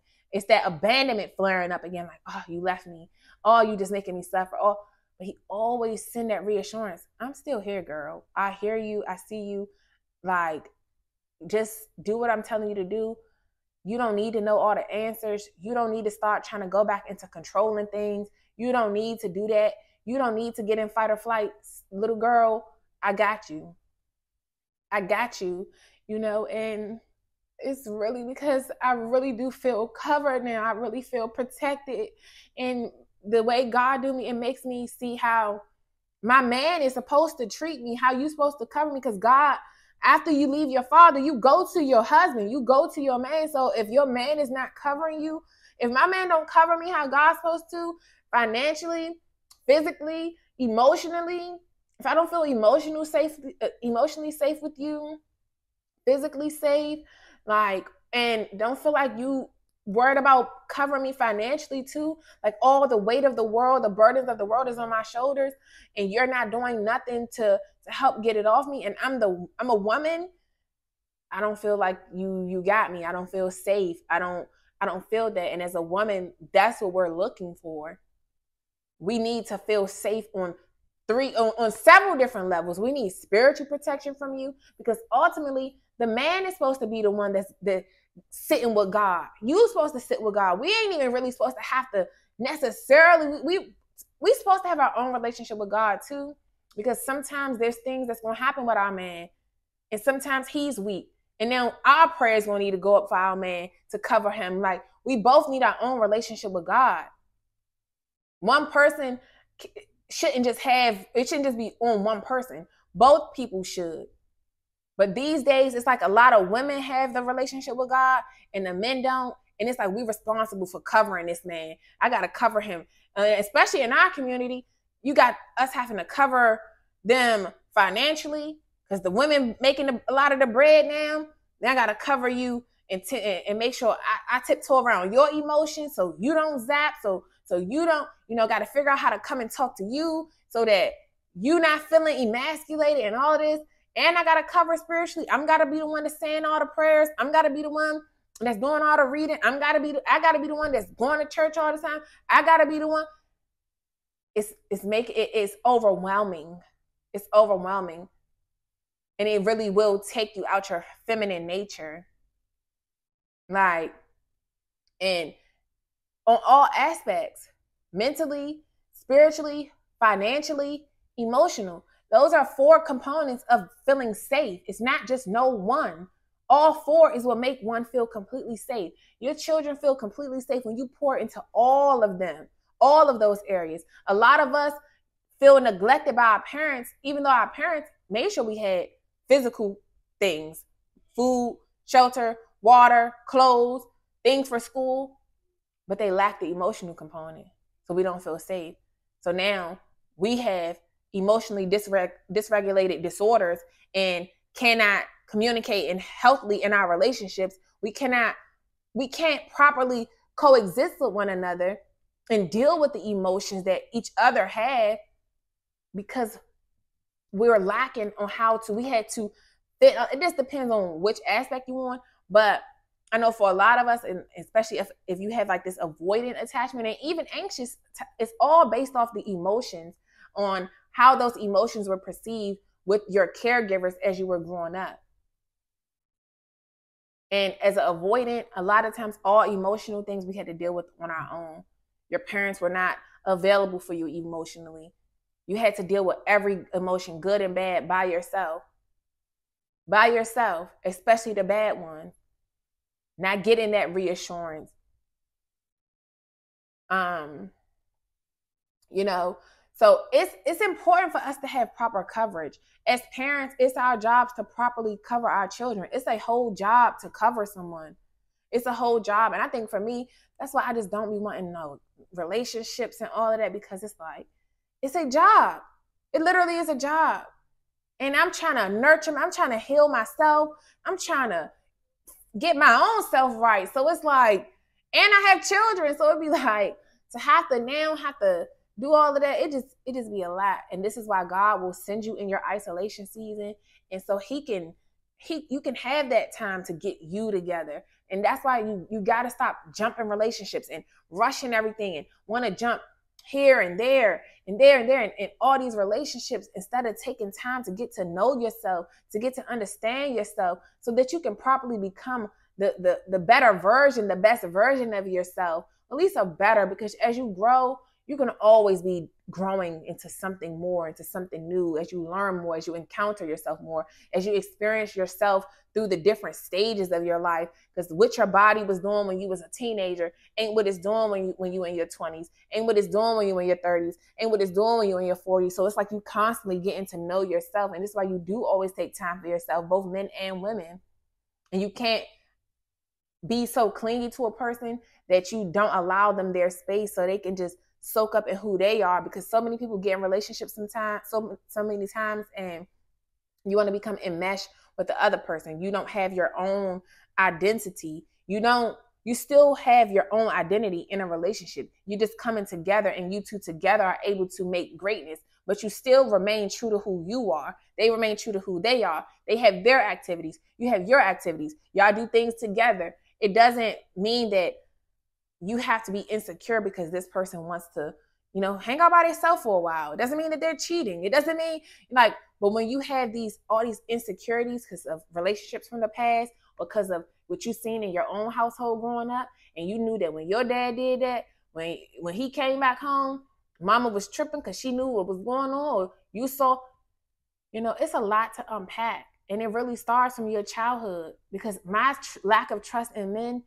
it's been it's been so long. Like it ain't start with my second baby, dad. It ain't start with my first baby dad. It didn't start with my first boyfriend. It didn't. It it it go all the way back to really my father. And then after that, all the other boys that I had to deal with, even boys that you know wasn't uh intimate, even just the boys at school, you know, things that going through different things, and never having nobody to talk to, all that stuff. I realized all that stuff was held in just to me. Like I'm the one who had to deal with all of that. And a lot of times we don't even understand how high school, middle school, elementary school, we still carry on a lot of stuff that even happens from back then. So much stuff. I told y'all in that other video about them teachers, them teachers, the kids, those years of our life our primitive years really do affect us. And the rest of our, we spend the rest of our life just trying to cope, just trying to cope through all of those feelings that we never unpack. You got to go back and unpack all of it. Why you don't trust women? Who was the first woman that did something to you? You got to go to the first. Who did it? Who broke the trust? Who was the first man? Who was the first man? Who was the first woman? You got to really go back and unpack that stuff. You know, but um I ain't even I ain't even end up um getting to the other thing. But what I did want to finish reading off of this uh vows are not to be broken part, you know, because it said every vow and every binding oath to afflict the soul, her husband may establish it or her husband may make it void. So when we come under coverage from our men, if they agree with it, cool. If they don't agree with it, then it's supposed to be it's supposed to be a no. It's supposed to be a no. And it says, These are the statutes which the Lord commanded Moses between a man and his wife, between the father and his daughter, being yet in her youth in her father's house. Because the father's responsible for his daughter until she's until she's given away to another man. He give he supposed he's supposed to give her away to another man. And you know what? I realized I lost respect for my dad the day that you know, and this is why I always had gave more respect to my first baby dad than my own father. Like um when my dad when my first baby was born and I remember we was down at my mom's house and my dad was in town um or something. He ended up coming over to the house and he was just like so nonchalant. My baby dad was the one, you know, he came downstairs, whatever, you know, shook his hand and all of that stuff to meet him. And um, my dad ain't even stay long. He saw the baby real quick. He just like so nonchalant. But I also too understand my dad didn't have his parents. I don't know what has happened to him like in his life. His parents, from what I know, they died when he was super young, like a little boy. Um, so I don't I don't know. I don't know. I, I don't know. I don't really know him like that in the sense of that I've ever we ever talked about anything. And I feel like in these families that Ari stop. I feel like in these families we don't be talking about what really needs to be talked about. Everything is like hush hush, you know, and a lot of times the parents don't want to even really face what has happened. And that's why they carry out in these unclean spirits that carry out and they end up wreaking havoc and you end up passing the generational curses on and on because you're not you're not confronting it. And that's why it goes on to bloodline after bloodline and it always become a black sheep in each each generation because ultimately the pressure gets put on the black sheep to be that one to answer the call. And many of us as the black sheep we don't want to answer our call in our life because it it come with a lot. It come with a lot. And that's why i realized why I, i'm like why I gotta go through all of this to to get what you promised me. But I gotta realize I'm breaking off so many curses. I'm breaking off chains. That's why the enemy too be on me. Like, How dare this one come in? This is why we be attacked so hard. How dare the enemy? How dare you come in and try to break off these covenants that your ancestors made with me? How dare you try to bind like how how dare you try to come in and do this? How dare you try to renew the bloodline? How dare you? That's why he be on the chosen one so hard, you know? But I realized I'm breaking off stuff from my father's generation, from my mother's uh, bloodline that I don't even know. But I definitely know, especially when it comes to poverty, when it comes to toxic relationships, that that one, those two for sure is something that is that's why the pressure is on me so hard in those two areas.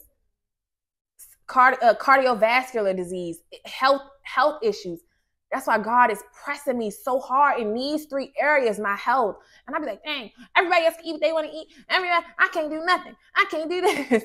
like, God is, because it's generational curses of illness that comes from what you're eating. Like eating that, I'm like, I realize I don't eat a lot of the stuff that I used to eat. Like my dad uh, always was sick, having strokes. Him and my mom known for having high blood pressure. I don't have none of that. Like a lot of this stuff stops with me. It stops with me. So yes, it's more harder for me. Yes, as the chosen one, it's, you you breaking off a lot of stuff in different areas that you don't know. You know, um, but I like I was saying, I remember I lost, you know, a lot of respect for him that day. My my baby daddy had to be the one, you know, to be like, you know, come back through later, you know, let's have a beer and let's talk. And they were my baby dad remind me so much of my dad. They good cooks they drink. They drink a lot. That's what my mom said. That she, she wasn't dealing with my dad like that. Even though I feel like she was, you was his little young little side joint that ended up get ha- having that baby to get, get get that check. Um, and that's why his other daughters never liked my mom or don't like me because his daughter is my mom age, and some of them actually a little bit older than my mom. Like, you know, anyhow.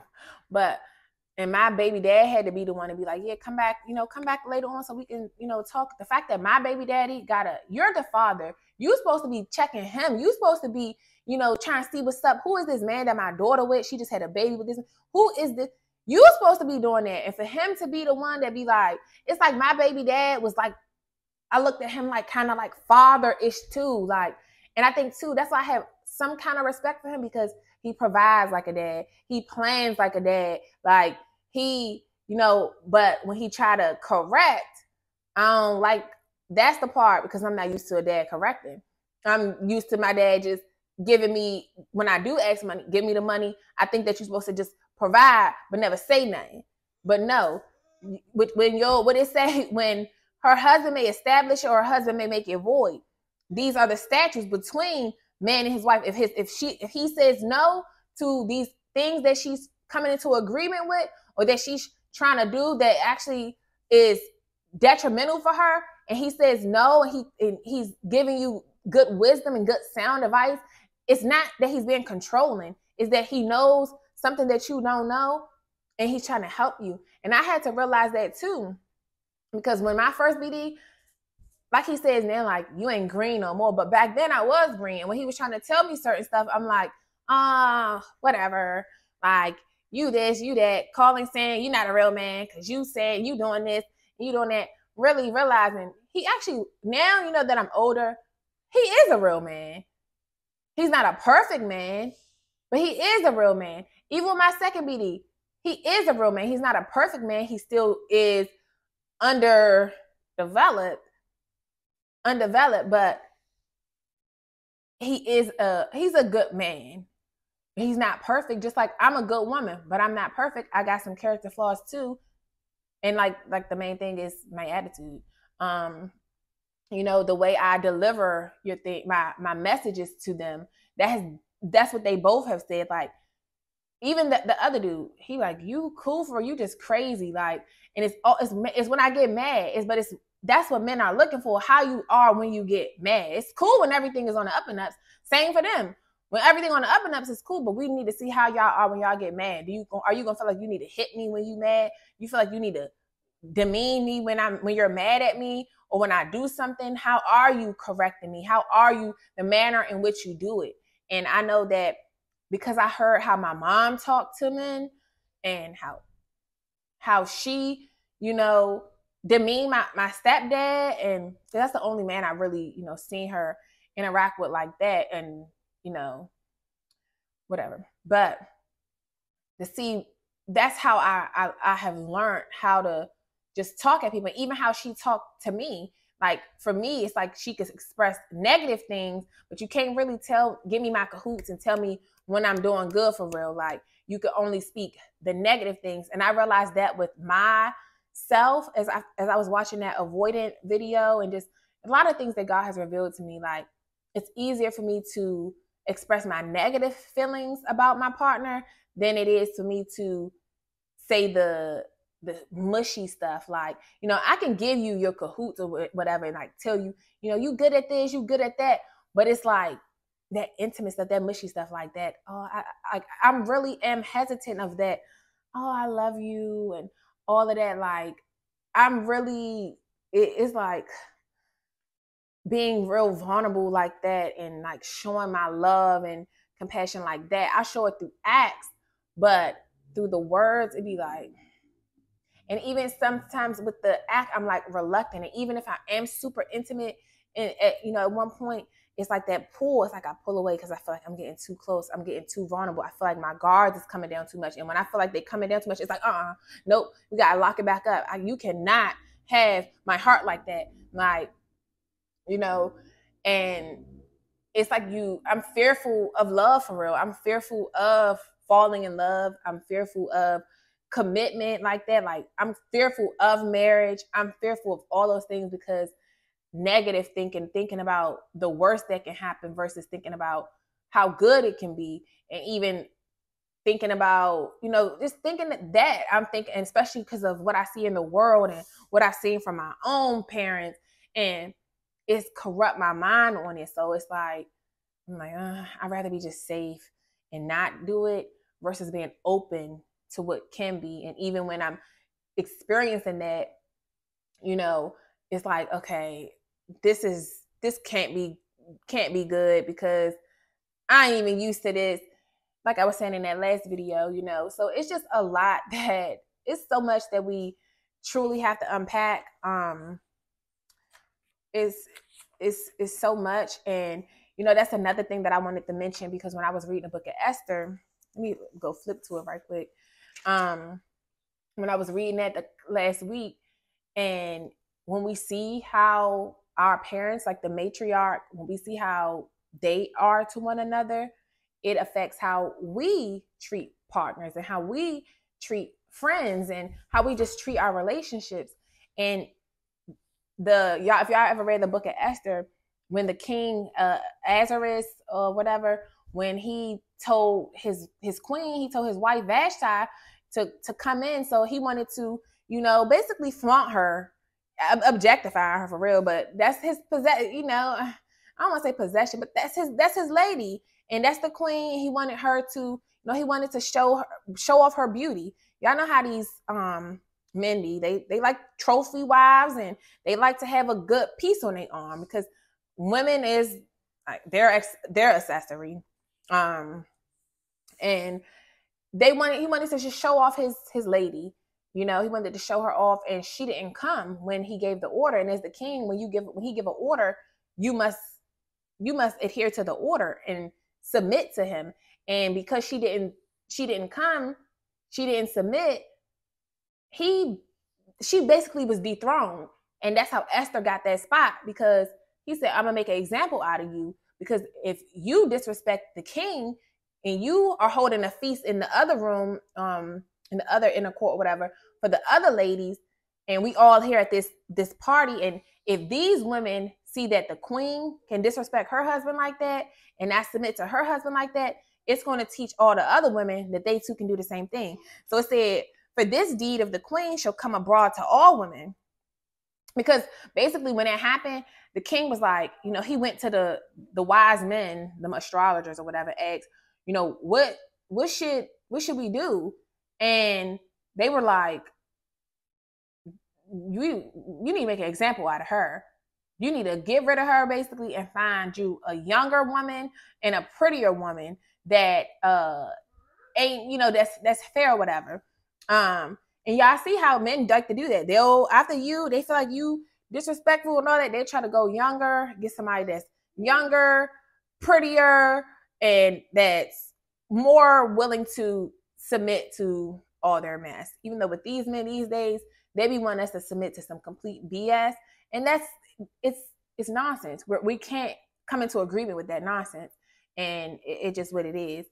Um, and these men out here are perishing because they don't have true true true leadership. They like to abuse their authority, and that's what you can't do. Because when you abuse your authority, God will dethrone you too. Nobody is exempt from being dethroned. Nobody is exempt from losing their birthright. No one is exempt from being demoted. Adam and Eve, they were demoted.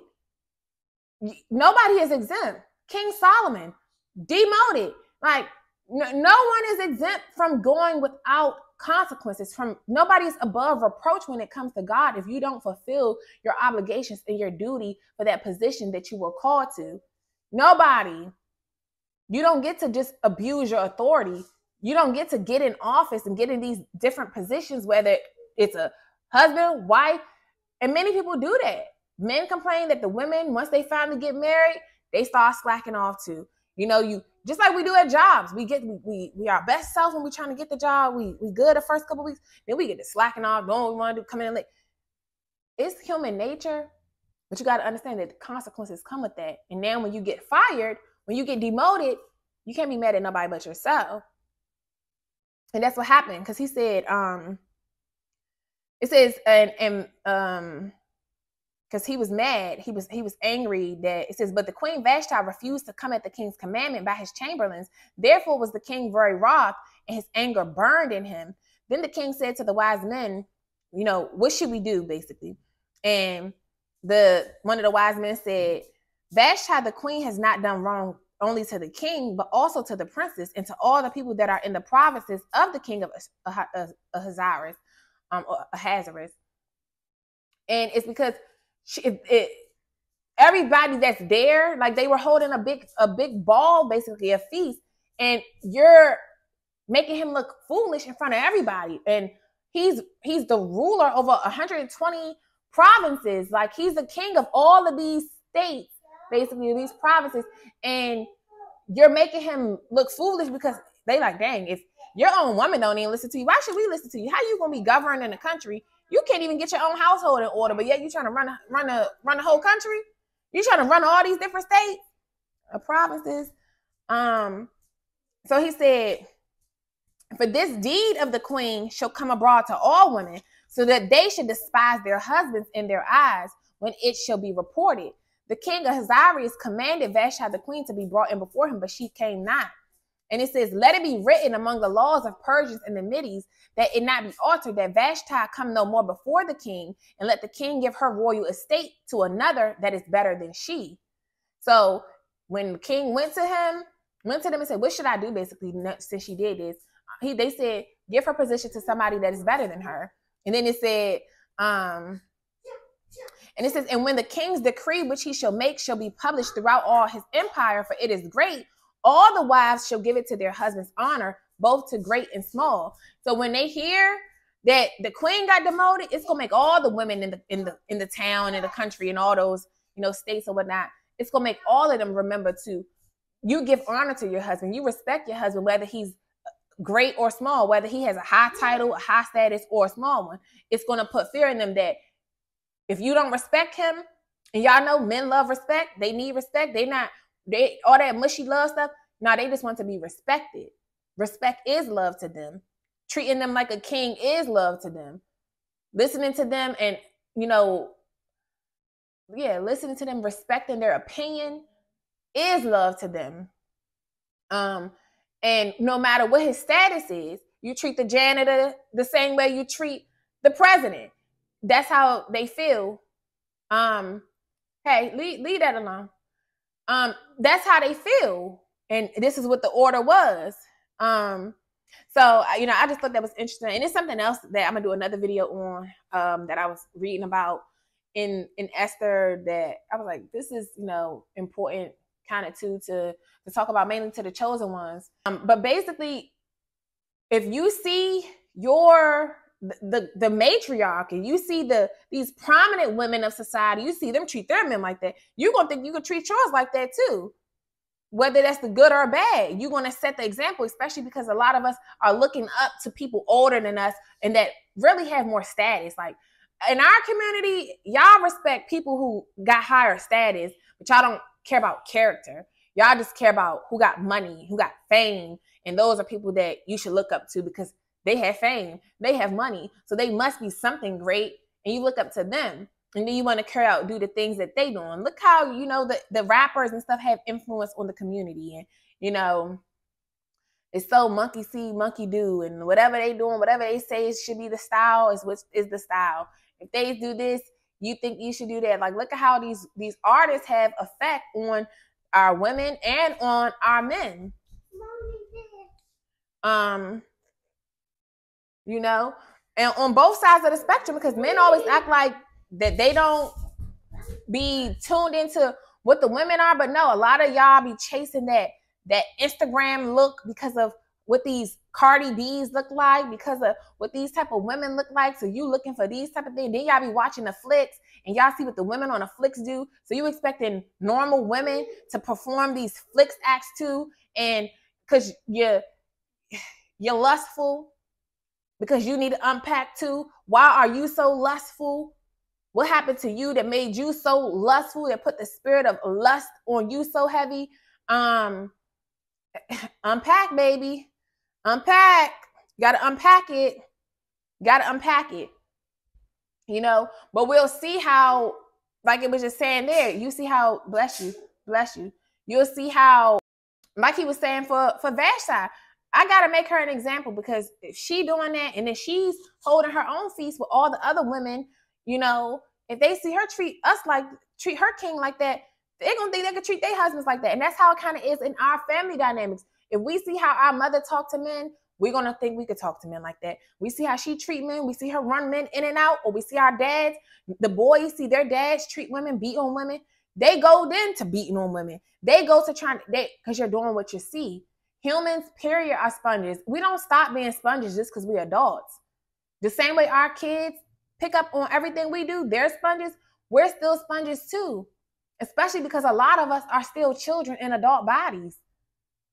We grown in age, but we haven't grown mentally, haven't grown spiritually, haven't grown emotionally, which is why when we get mad, we cut up like a toddler. We have meltdowns, like I'm telling y'all have, like a toddler.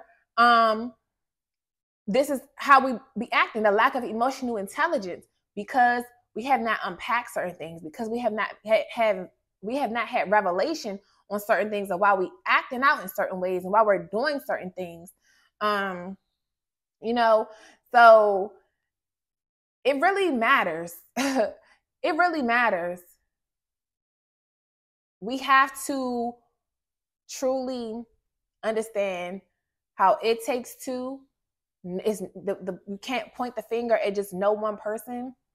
And we have to create the space for one another to be vulnerable to be open. You know, even when I was talking to my ex the other day, and you know, because I did want to apologize, um, because I just I do take certain things too far sometimes, um, and it's just like when I think about it after the fact, I'm like, it be, but at the moment, it's so big to me. Something that seems so small to other people be so big to me, and it's like I have to start learning how to process why are you why are you triggered like that? What is it about that? and learn to healthily talk about it instead of wanting to block you or this. It just talk about it. And I know him, he'll, you know, he'll want to talk about it and I'm hitting a decline and then I'll send a message, don't call, stop calling, this, that. He like, I just was trying to talk about it. Like, I realized he actually is a lot more emotionally intelligent than me. Um, and I really do like that. I really do like that because I'd be ready to run I, I told her I'm a run, I'm a track star. I just want to get rid of you, get you out my face because you just made me mad. And that's not how you have a healthy relationships. That's not how you work through issues. That's not running from it. That's not how you you work through it. You need to talk about it, understand his perspective. He understand my perspective. We can either agree to disagree or figure out a solution to that thing. And it's about truly understanding the other side and seeing, you know, how and why they feel that way. Um, you know, and I just do like that, you know, it's it's hard for me to be vulnerable, like I said. And um, you know, he was like, just take your time. Like I just I love that. I can honestly say I do love how patient he is with that. Um, my do be still feeling like he be lying about stupid small stuff. And that's what triggers me. Lying about stupid stuff to me, it's be like, it be like, it just, it's like you insult my intelligence and it's gaslighting. And when you gaslight me and I know I know what I know and I know you trying to play down because I know you, I study you, I examine you, and you trying to lie, it's like now you're provoking me to rad. But it's I have to learn how to work through those triggers. So that's actually a video that I'm about to watch because um, Dr. Fox had a, a video uploading about that, and I need to I need to see that. But overall, you guys, I did want to read Isaiah 30, but it basically was just saying, um, you know, trusting in the Lord and not trusting in Egypt. And trusting in Egypt could be trusting, like Egypt is known as a place of bondage. That's who we were enslaved to. Our masters trusted in the Lord and stop trusting in the government. Trust more in the Lord than you trust in the doctors. In this Bible, I mean, it goes into all of that because God takes offense when you trust in what the doctor tell you your your future is. If the doctor say you only got a couple months to live and you listen to that, God is going to be upset with you. If you listen to any man, any human, any mortal before you trust in what the Lord say, because the Lord can reverse anything. And a lot of times the, the plagues that come onto us is because we didn't listen to the Lord. And a lot of the things that He allow us to go through is so that we can call on the Lord and not call on a doctor. I mean, I have so many testimonies through this season how me calling on the Lord, I didn't have to call on no dang on plumber. I didn't have to call me calling on the Lord. It's like supernatural miracles. I didn't got to call on the Lord for this. We worried about these issues, health issues, dental issues. Call on the Lord. I'm sure, I'm assure you, He can lead you the way because He knows that this government is corrupt.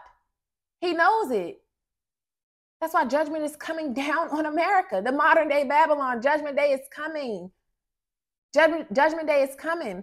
And I can really go all in. We, we probably gonna have this election and stuff that's coming up, we know who really about to be in office. Um, and he's gonna be the catalyst to letting that other side come in. He's going to let them right in so that they can plot to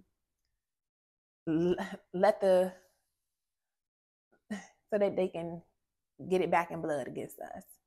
Mm-hmm. Y'all already know I have a whole prophetic a whole prophetic warning playlist that is talking about Russia versus America and what's to come with us. We already got a got that going. But we be trusting more in the government, trusting more in all these outside sources more than the Lord, and that uh, that infuriates the Lord because that's rebellion and that's disrespect to Him, and that's basically what Isaiah 30 is talking about because it says, you know, you walk they, they it says, Woe to the rebellious children, said the Lord, that take counsel but not of me, that cover with the covering but not of my spirit, that they may add sin to sin that walk to go down into Egypt and have not asked at my mouth to strengthen themselves in the strength of Pharaoh and to trust in the shadow of Egypt. They going down to, to Egypt looking for food, looking for this, looking for protection, looking for saving versus coming to me. You looking for strength from outside sources except me. You looking for strength from people who kept you in bondage. Us as black people still looking at the white man for help and for saving and for redemption and thinking they going, you looking for them for your 40 acres and a mule. You need to be looking to me for your 40 acres and a mule because I'm the only one that can make it happen for you. You looking to the wrong person for help. The same ones that enslaved you is the same ones you think will help you out. That's what this is talking about here. We're gonna have to probably we might end up doing this in a whole nother video too. But he said Therefore shall the strength of Pharaoh be your shame, and the trust in the shadow of Egypt your confusion. That's why you're gonna you're gonna always be in confusion, and you're gonna always be put to shame by them very Egyptians, which in this sense is the ones who enslaved us, because Egypt was the place of bondage. Pharaoh was the one, the master that um, placed taskmasters against them to afflict the, the children of Israel. We know who afflicted us in slavery. We know who afflicts us now. We know who don't want us to arise now. We know who's against us now. We know who set up the welfare systems to keep us down now. We know who did this stuff to us now. And yet we still rely on them same people who have caused so much affliction on us, who has who has created the divide between the black man and the black woman, as we seen in the Willie Lynch video in that series. The one who created this whole division against us, who who did the whole thing that they did with having us compare each other to one another and to find flaws in one another and to separate the, the house slaves versus the field slaves and to compare us to cause identity crisis amongst us so we can hate what we look like because they put that confusion between us of you got a smaller nose you're prettier and now the, you you have a bigger nose so now, because they made you feel like your nose is bigger, now you don't like people with a smaller nose, or now because you're dark skin, you don't like light skin because they didn't put light skin against dark skin and brown skin and this skin and long hair versus real hair, natural hair versus this, long nails versus short. Look at how look how debatable we are in the comments. I'd be like, y'all just it just we go against each other so hard about every like comparing anything, and it doesn't matter it doesn't matter if I choose to wear long nails and you don't. So what? If you're not eating with these fingers, like that, that, that does not play into your character. That has nothing to do with who you are. If my hair is natural and yours is permed, who cares? If if you have a gap and I don't, and if you have you're you're like these comparisons that the slavery has done on us and we still do it on each other and we're trying to find who's better than who in our own community. Division. God hates that about our community that we so divided but he allows it because until you get back to him he gonna he gonna keep you divided. Until you learn what you need to learn he gonna keep it like that. Because he's not gonna let you have peace when you don't believe that having peace is with him. God is a jealous god and people say he let you do all of this all of that God gonna let you do free will, but He gonna let your free will keep leading you into so much corruption that eventually you gonna want to do His will because you're gonna get tired of your free will because your free will keep leading to your demise. You're gonna get tired of it. That's why it's low key like manipulation because it's like it really ain't free will. It's really not free will. You know? Um, and because like he said, like this whole thing, we probably gonna do this in a whole separate video, but I do want to finish it a little bit. Um, but it says, For the Egyptians should help in vain and to no purpose. Therefore have I cried concerning this. Their strength is to just sit still. They just sit there and look at you, complaining and crying and asking for this. They don't care about you. But yet y'all want to be like these nations so bad. They don't care about you. You looking for coverage from these folks. They don't care about you for real. Like this says, and he said, now go write it before them in a table and note it in a book, that it may be for the time to come forever and ever that this is a rebellious people, lying children, children that will not hear the law of the Lord. That's how I know this is us. We are a rebellious group of people. I know I'm a rebellious person. We are definitely rebellious people.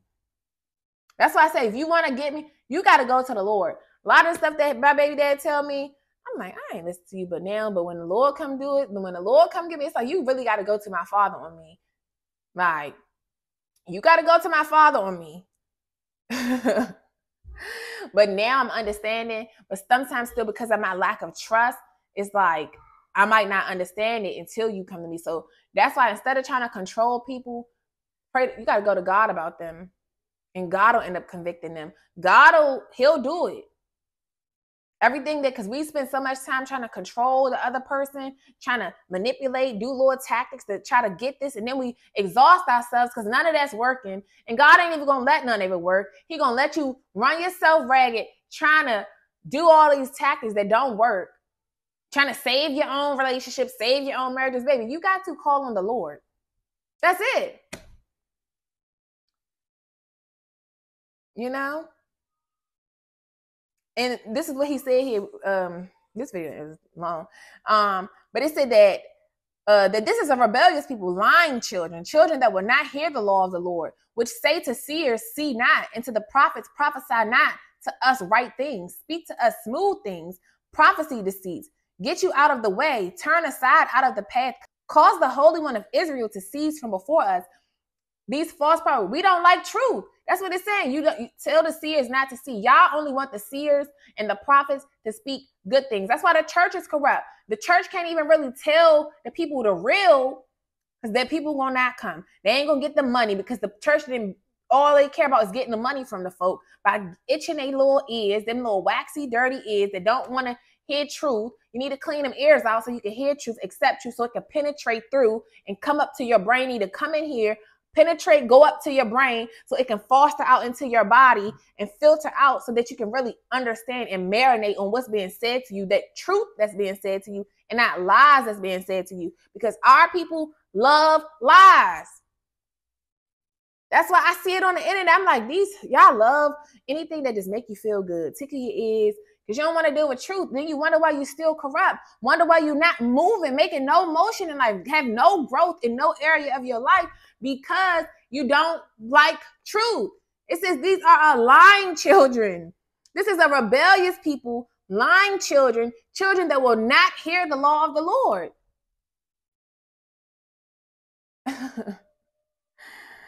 And blessed is the man that hears the law of the Lord, that seeks the law of the Lord, that meditates on the law day and night. That is the that is the one that is blessed. Blessed Psalms 1. That's what I was just uh, studying earlier. Psalms 1. Blessed is he that not walk in the counsel of the ungodly, nor stand in the way of sinners, nor seat in the seat of the scornful. But in his delight. Let's go to it right quick. Get y'all a good song. Let's let's end y'all out. Let's end y'all out right. Blessed is the man that walketh not in the counsel of the ungodly, nor stand in the way of sinners, nor sit in the seat of the scornful, but in his delight is the law of the Lord. And in his law does he meditate day and night. And he shall be like a tree planted by the rivers of water that bring forth his fruit in his season. His leaf also shall not wither, and whatever he does shall prosper. The ungodly are not so, but are like the chaff which the wind driveth away. Therefore, the ungodly shall not stand in the judgment, nor sinners in the congregation of the righteous. For the Lord knows the way of the righteous, but the way of the ungodly shall perish. You want to be under good counsel, not in the counsel of the ungodly, not and people that uh, lack righteousness, that lack integrity, that lack truth, that only like things that tickle their ear and tell them what they want to hear, that produce no growth. That's the ungodly. Because God is not the, the spirit of lies. That's Satan. Satan is the father of lies. God is the spirit of truth. God is the spirit of truth.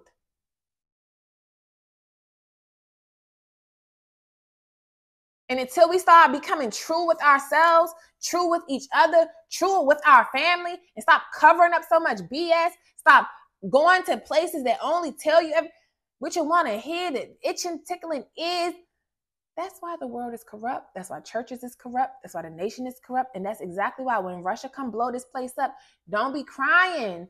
Don't be crying for your family. Don't be crying when you're seeing all, all the stuff that's going on over there in Ukraine. When that stuff start happening here, don't be crying all little kids, innocent kids. No, because unfortunately, kids have to suffer for the sins of their fathers because their fathers and their mothers would not get it right. Their fathers and their mothers was unrepentant because their fathers and their mothers is stubborn, rebellious people They want to do what they want to do. And when warning comes before destruction, their parents did not take heed. When the when the prophets were blowing the trumpets to notify you of what's coming because of your idolatry and because of your unrepentance and because of your rebellion, you're not listening. Like he says here. They say to the seers, tell us not this, prophesy not right things to us. Don't tell the right things to us. Tell us lies. Speak to us smooth things. Prophecy deceits, like the false prophets do.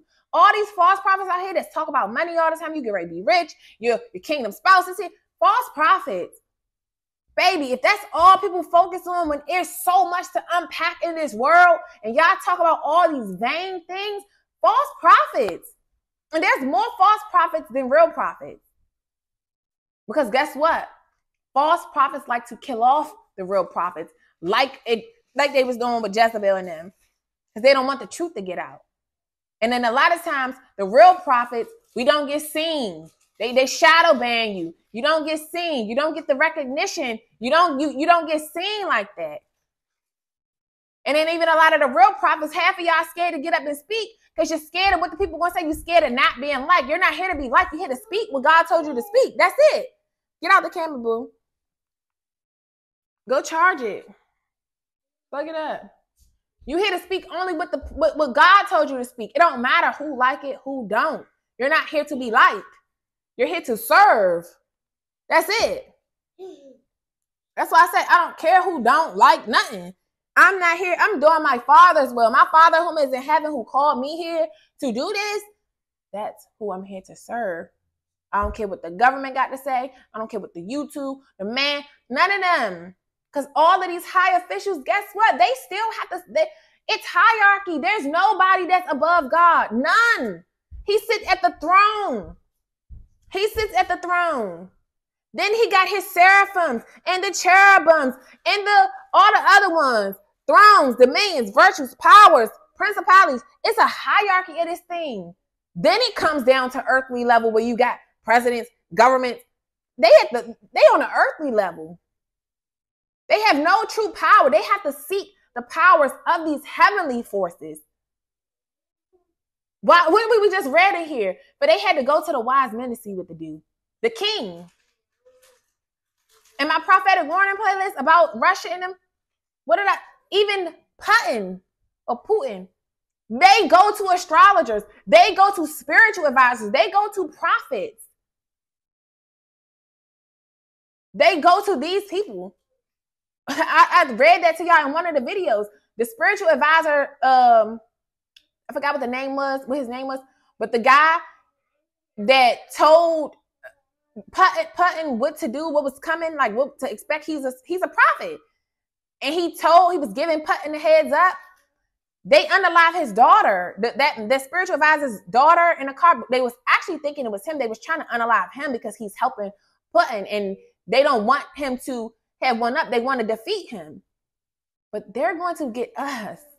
They're going to, it's, and guess who about to help him? Mr. Trump himself. This is when this all go down, it's just gonna be crazy. Because guess where it was? All the answers was right here. The one thing that people try to say ain't true. This all the facts is here. All the facts is here. Even to how he gonna let them in the country, even to how they gonna get in. Through the mountains, the Appalachian Mountains. It's so funny when I first got that revelation. Like when I first got to Texas, that's what I'm saying. God called me to Texas on a mission. This was this was a true mission. A true mission. I'm like, oh, like just it's it's just craziness. But like he was saying here, um, it says, Wherefore thus the Holy One of Israel, because you despise this word and trust in oppression and perverseness and stay thereon. Therefore, this iniquity shall be to you as a breach ready to fall, swelling out in a high wall, whose breaking cometh suddenly and at an instant. And he shall break it at and he shall break it as the breaking of the potter's vessel that is broken in pieces. He shall not spare, so that there should not be found in the bursting of it assured to take fire from the hearth or to take water withal out of the pit. For thus said the Lord God, the Holy One of Israel, in returning in rest shall you be saved. In quietness and confidence shall be your strength, and you would not. The only way you're gonna get saved, only way you're gonna get what you're looking for, it says through in returning, repentant and turning away from your wicked ways and turning back to the Lord your God. We're the only, that's the only solution for the black community. All that other hearsay that y'all talk about on the internet is riffraff. It's just chatting. It's just bumping your gums, saying nothing because they're saying nothing because you don't have a spiritual understanding of what's really going on. You don't have the it's a spiritual attack. and if you don't know how to fight spiritually, even when you're in a relationship, you gotta both parties gotta know how to fight spiritually. Like a spiritual, and that's why I say it's even an attack on me and my second BD. He always say we soulmates, and you know it is a spiritual connection. It's a very spiritual thing there, but God has to still he he gotta get him. That's why I do be praying that he get under some the, the right male leadership. He needs some rights, a real a real man of God he need to get under a real man of God leadership. A real man of God to get him right. A lot of these men, they y'all got no good male leaders out here, not real spiritual ones. They teaching you worldly ways. They not teaching you from a spiritual understanding. But that's why y'all need to get in your own books. Y'all need to get your own relationship with him. Y'all need to start praying, fasting, get that relationship. I talk all about how to get the relationship. That's what my book is for. Is to teach you how to get that relationship. Everything. I go into so much information in there, even when it comes to uh, semen retention, celibacy, all of these things will help you foster that closeness. It helps you transmute your energy into spiritualness, into going within, into trying to truly learn your power, to try to get your power back from all these outside sources, get it back, get closer with God so He can reveal to you your power that's within you, your gifts that's within you. So that you can become a lot of y'all men that are chosen ones, your job is to become that same leadership that our men need. Our men in our community need good male leadership. There's no good male leaders. There's none. And when he called you here to be a prophet, you're afraid to step up into your calling. When many of these little dudes out here, they need you. They hungry for some leadership. They hungry for guidance. They don't have no fathers. They need it. The, the flock is lost. The lost sheep of Israel, we're lost, and we need a good shepherd. But the ones, it's all biblical. The ones God called here to be the good shepherds, they're, they're leading his sheep astray. They're not leading his sheep to him. The whole goal is to come lead, to lead the sheep to him. Not for you to act like you, God. No, to lead them to him. That's why I'm always going to tell y'all, no, you got to go through, you got to go to God because, baby, I can never do for you what God can do for you. I can never tell you things that God needs to tell you. I don't know. I'm not the all knowing, but God is. I cannot do that. My job is to lead you, lead you to the, the fountains flowing uh, of water, lead you to the water, lead you to the Father. I only came, what Jesus said, He came for the lost sheep of Israel to lead them to His Father. That's what that's what we're here to do, lead you to the Father. So that the Father can tell you what you need to do. Because He can reveal to you things that you do not know, that I don't know. I don't know everything. God knows everything. And until y'all go to God and stop want to go to your mama, daddy, and everybody involved and everything, they don't know nothing. The blind leading the blind. That's why everybody is in the same rabbit hole. Why everybody is getting ready to get judged together. Why every and this is why he's separating his people now. He moving them around. But if you don't answer your call, if you don't get right, when it all go down, boo boo, don't say you weren't warned. Don't say you weren't warned. You know. But this video long enough. Um, Y'all better go read Isaiah chapter 30. Because in returning and rest shall you be saved. Return, repent, and stay planted there, then you shall be saved. And in quietness and in confidence shall be your strength. And you will not perish. Okay? So, um,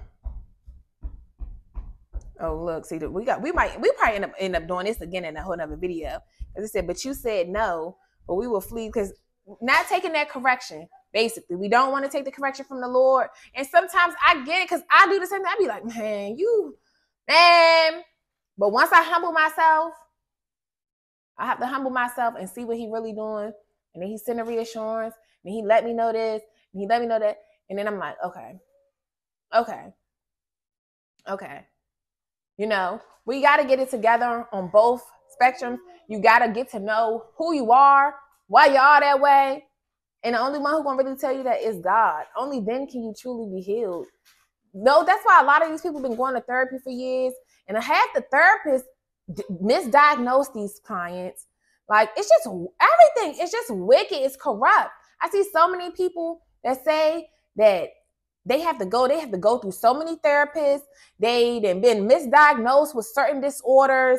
They didn't, that's why it's just like when you be real with yourself though, you don't even need these people to tell you now. You know what you do wrong and what you don't do wrong, and you know what's up. And then when you be real, if you once you learn to have integrity, true honesty, you can be accountable, you can be responsible, you can see when you stop being so offended, the spirit of offense, when y'all learn we need to rebuke the spirit of offense off our community. Y'all so easily ready to be offended. If you offended, it's because something and it's triggering something. It might be triggering some truth that you don't want to deal with. It might be triggering something that somebody else told you that could have been a lie. Who knows? But it's triggering something. And you need to address why. Why is that triggering you? Because if it triggers you, it's something about it. It don't necessarily mean that is true, but where does it come from? Because somebody might have said something to you, maybe your family members that said something to you that was similar to that, that might have been a lie, and now somebody else saying this and it's offending you because it's triggering back old memories, which that means you need to go unpack that, unpack that bitterness, unpack it. That's what you need to be praying for. Cleansingness of your heart, purification of your heart, your mind, your body, your soul. You need to go through that. You need to stop tainting yourself with with these toxins. You know? Um child, I didn't went into a whole a whole thing, but we have to understand you guys that it's a spiritual attack on us. It's a spiritual attack on our unions. And until we put God first, we won't prevail. We won't prevail. Okay? So I'll see y'all in the next video. I hope y'all got something out of this. I hope y'all really go do the the inner work. Healing is not linear and it's not a overnight process. It's ongoing. It's a lot that you really have to truly unpack. And you got to take the band aids off these wounds and let them really air out and let God clean you up. Let Him give you new perspective. Let Him give you new understanding. Because the plan was never to harm you, it was to prosper you and give you a hope in the future. Everything you've been through in your life, Jeremiah 29 11. For I know the plans I have for you, declares the Lord plans to prosper you not to harm you. A plans to give you a hope and a future. It's it's not you didn't go through those things for nothing. You need to use your pain, turn it into purpose, reach one, teach one. A lot of stuff y'all go through, y'all scared to speak on it, but not knowing there's so many other people going through the things too. They need help. People are crying out for help. Look at these, even your artists, and y'all listening to people music, don't even see that they crying out for help. Y'all seeing y'all faves, you know, online and people crying out for help, crying out for love, crying out. They crying out through their actions, but you cannot see it because you look at it as entertainment. The black community loves entertainment more than education, which is why we are the one race that perish for lack of knowledge, for only one entertainment. Because entertainment takes you away from all the uh the, the pain. And it really doesn't. It actually end up leading you into more pain and more deception running from the truth only pushes lies. And the more you live your life a lie, the more you perish. The more you perish because the more you go further, further into sin, further, further into corruption. And that's why we at where we at. That's exactly why we are where we are. So until the next time, you guys, I'll see y'all in the next video. I gotta go and deuces.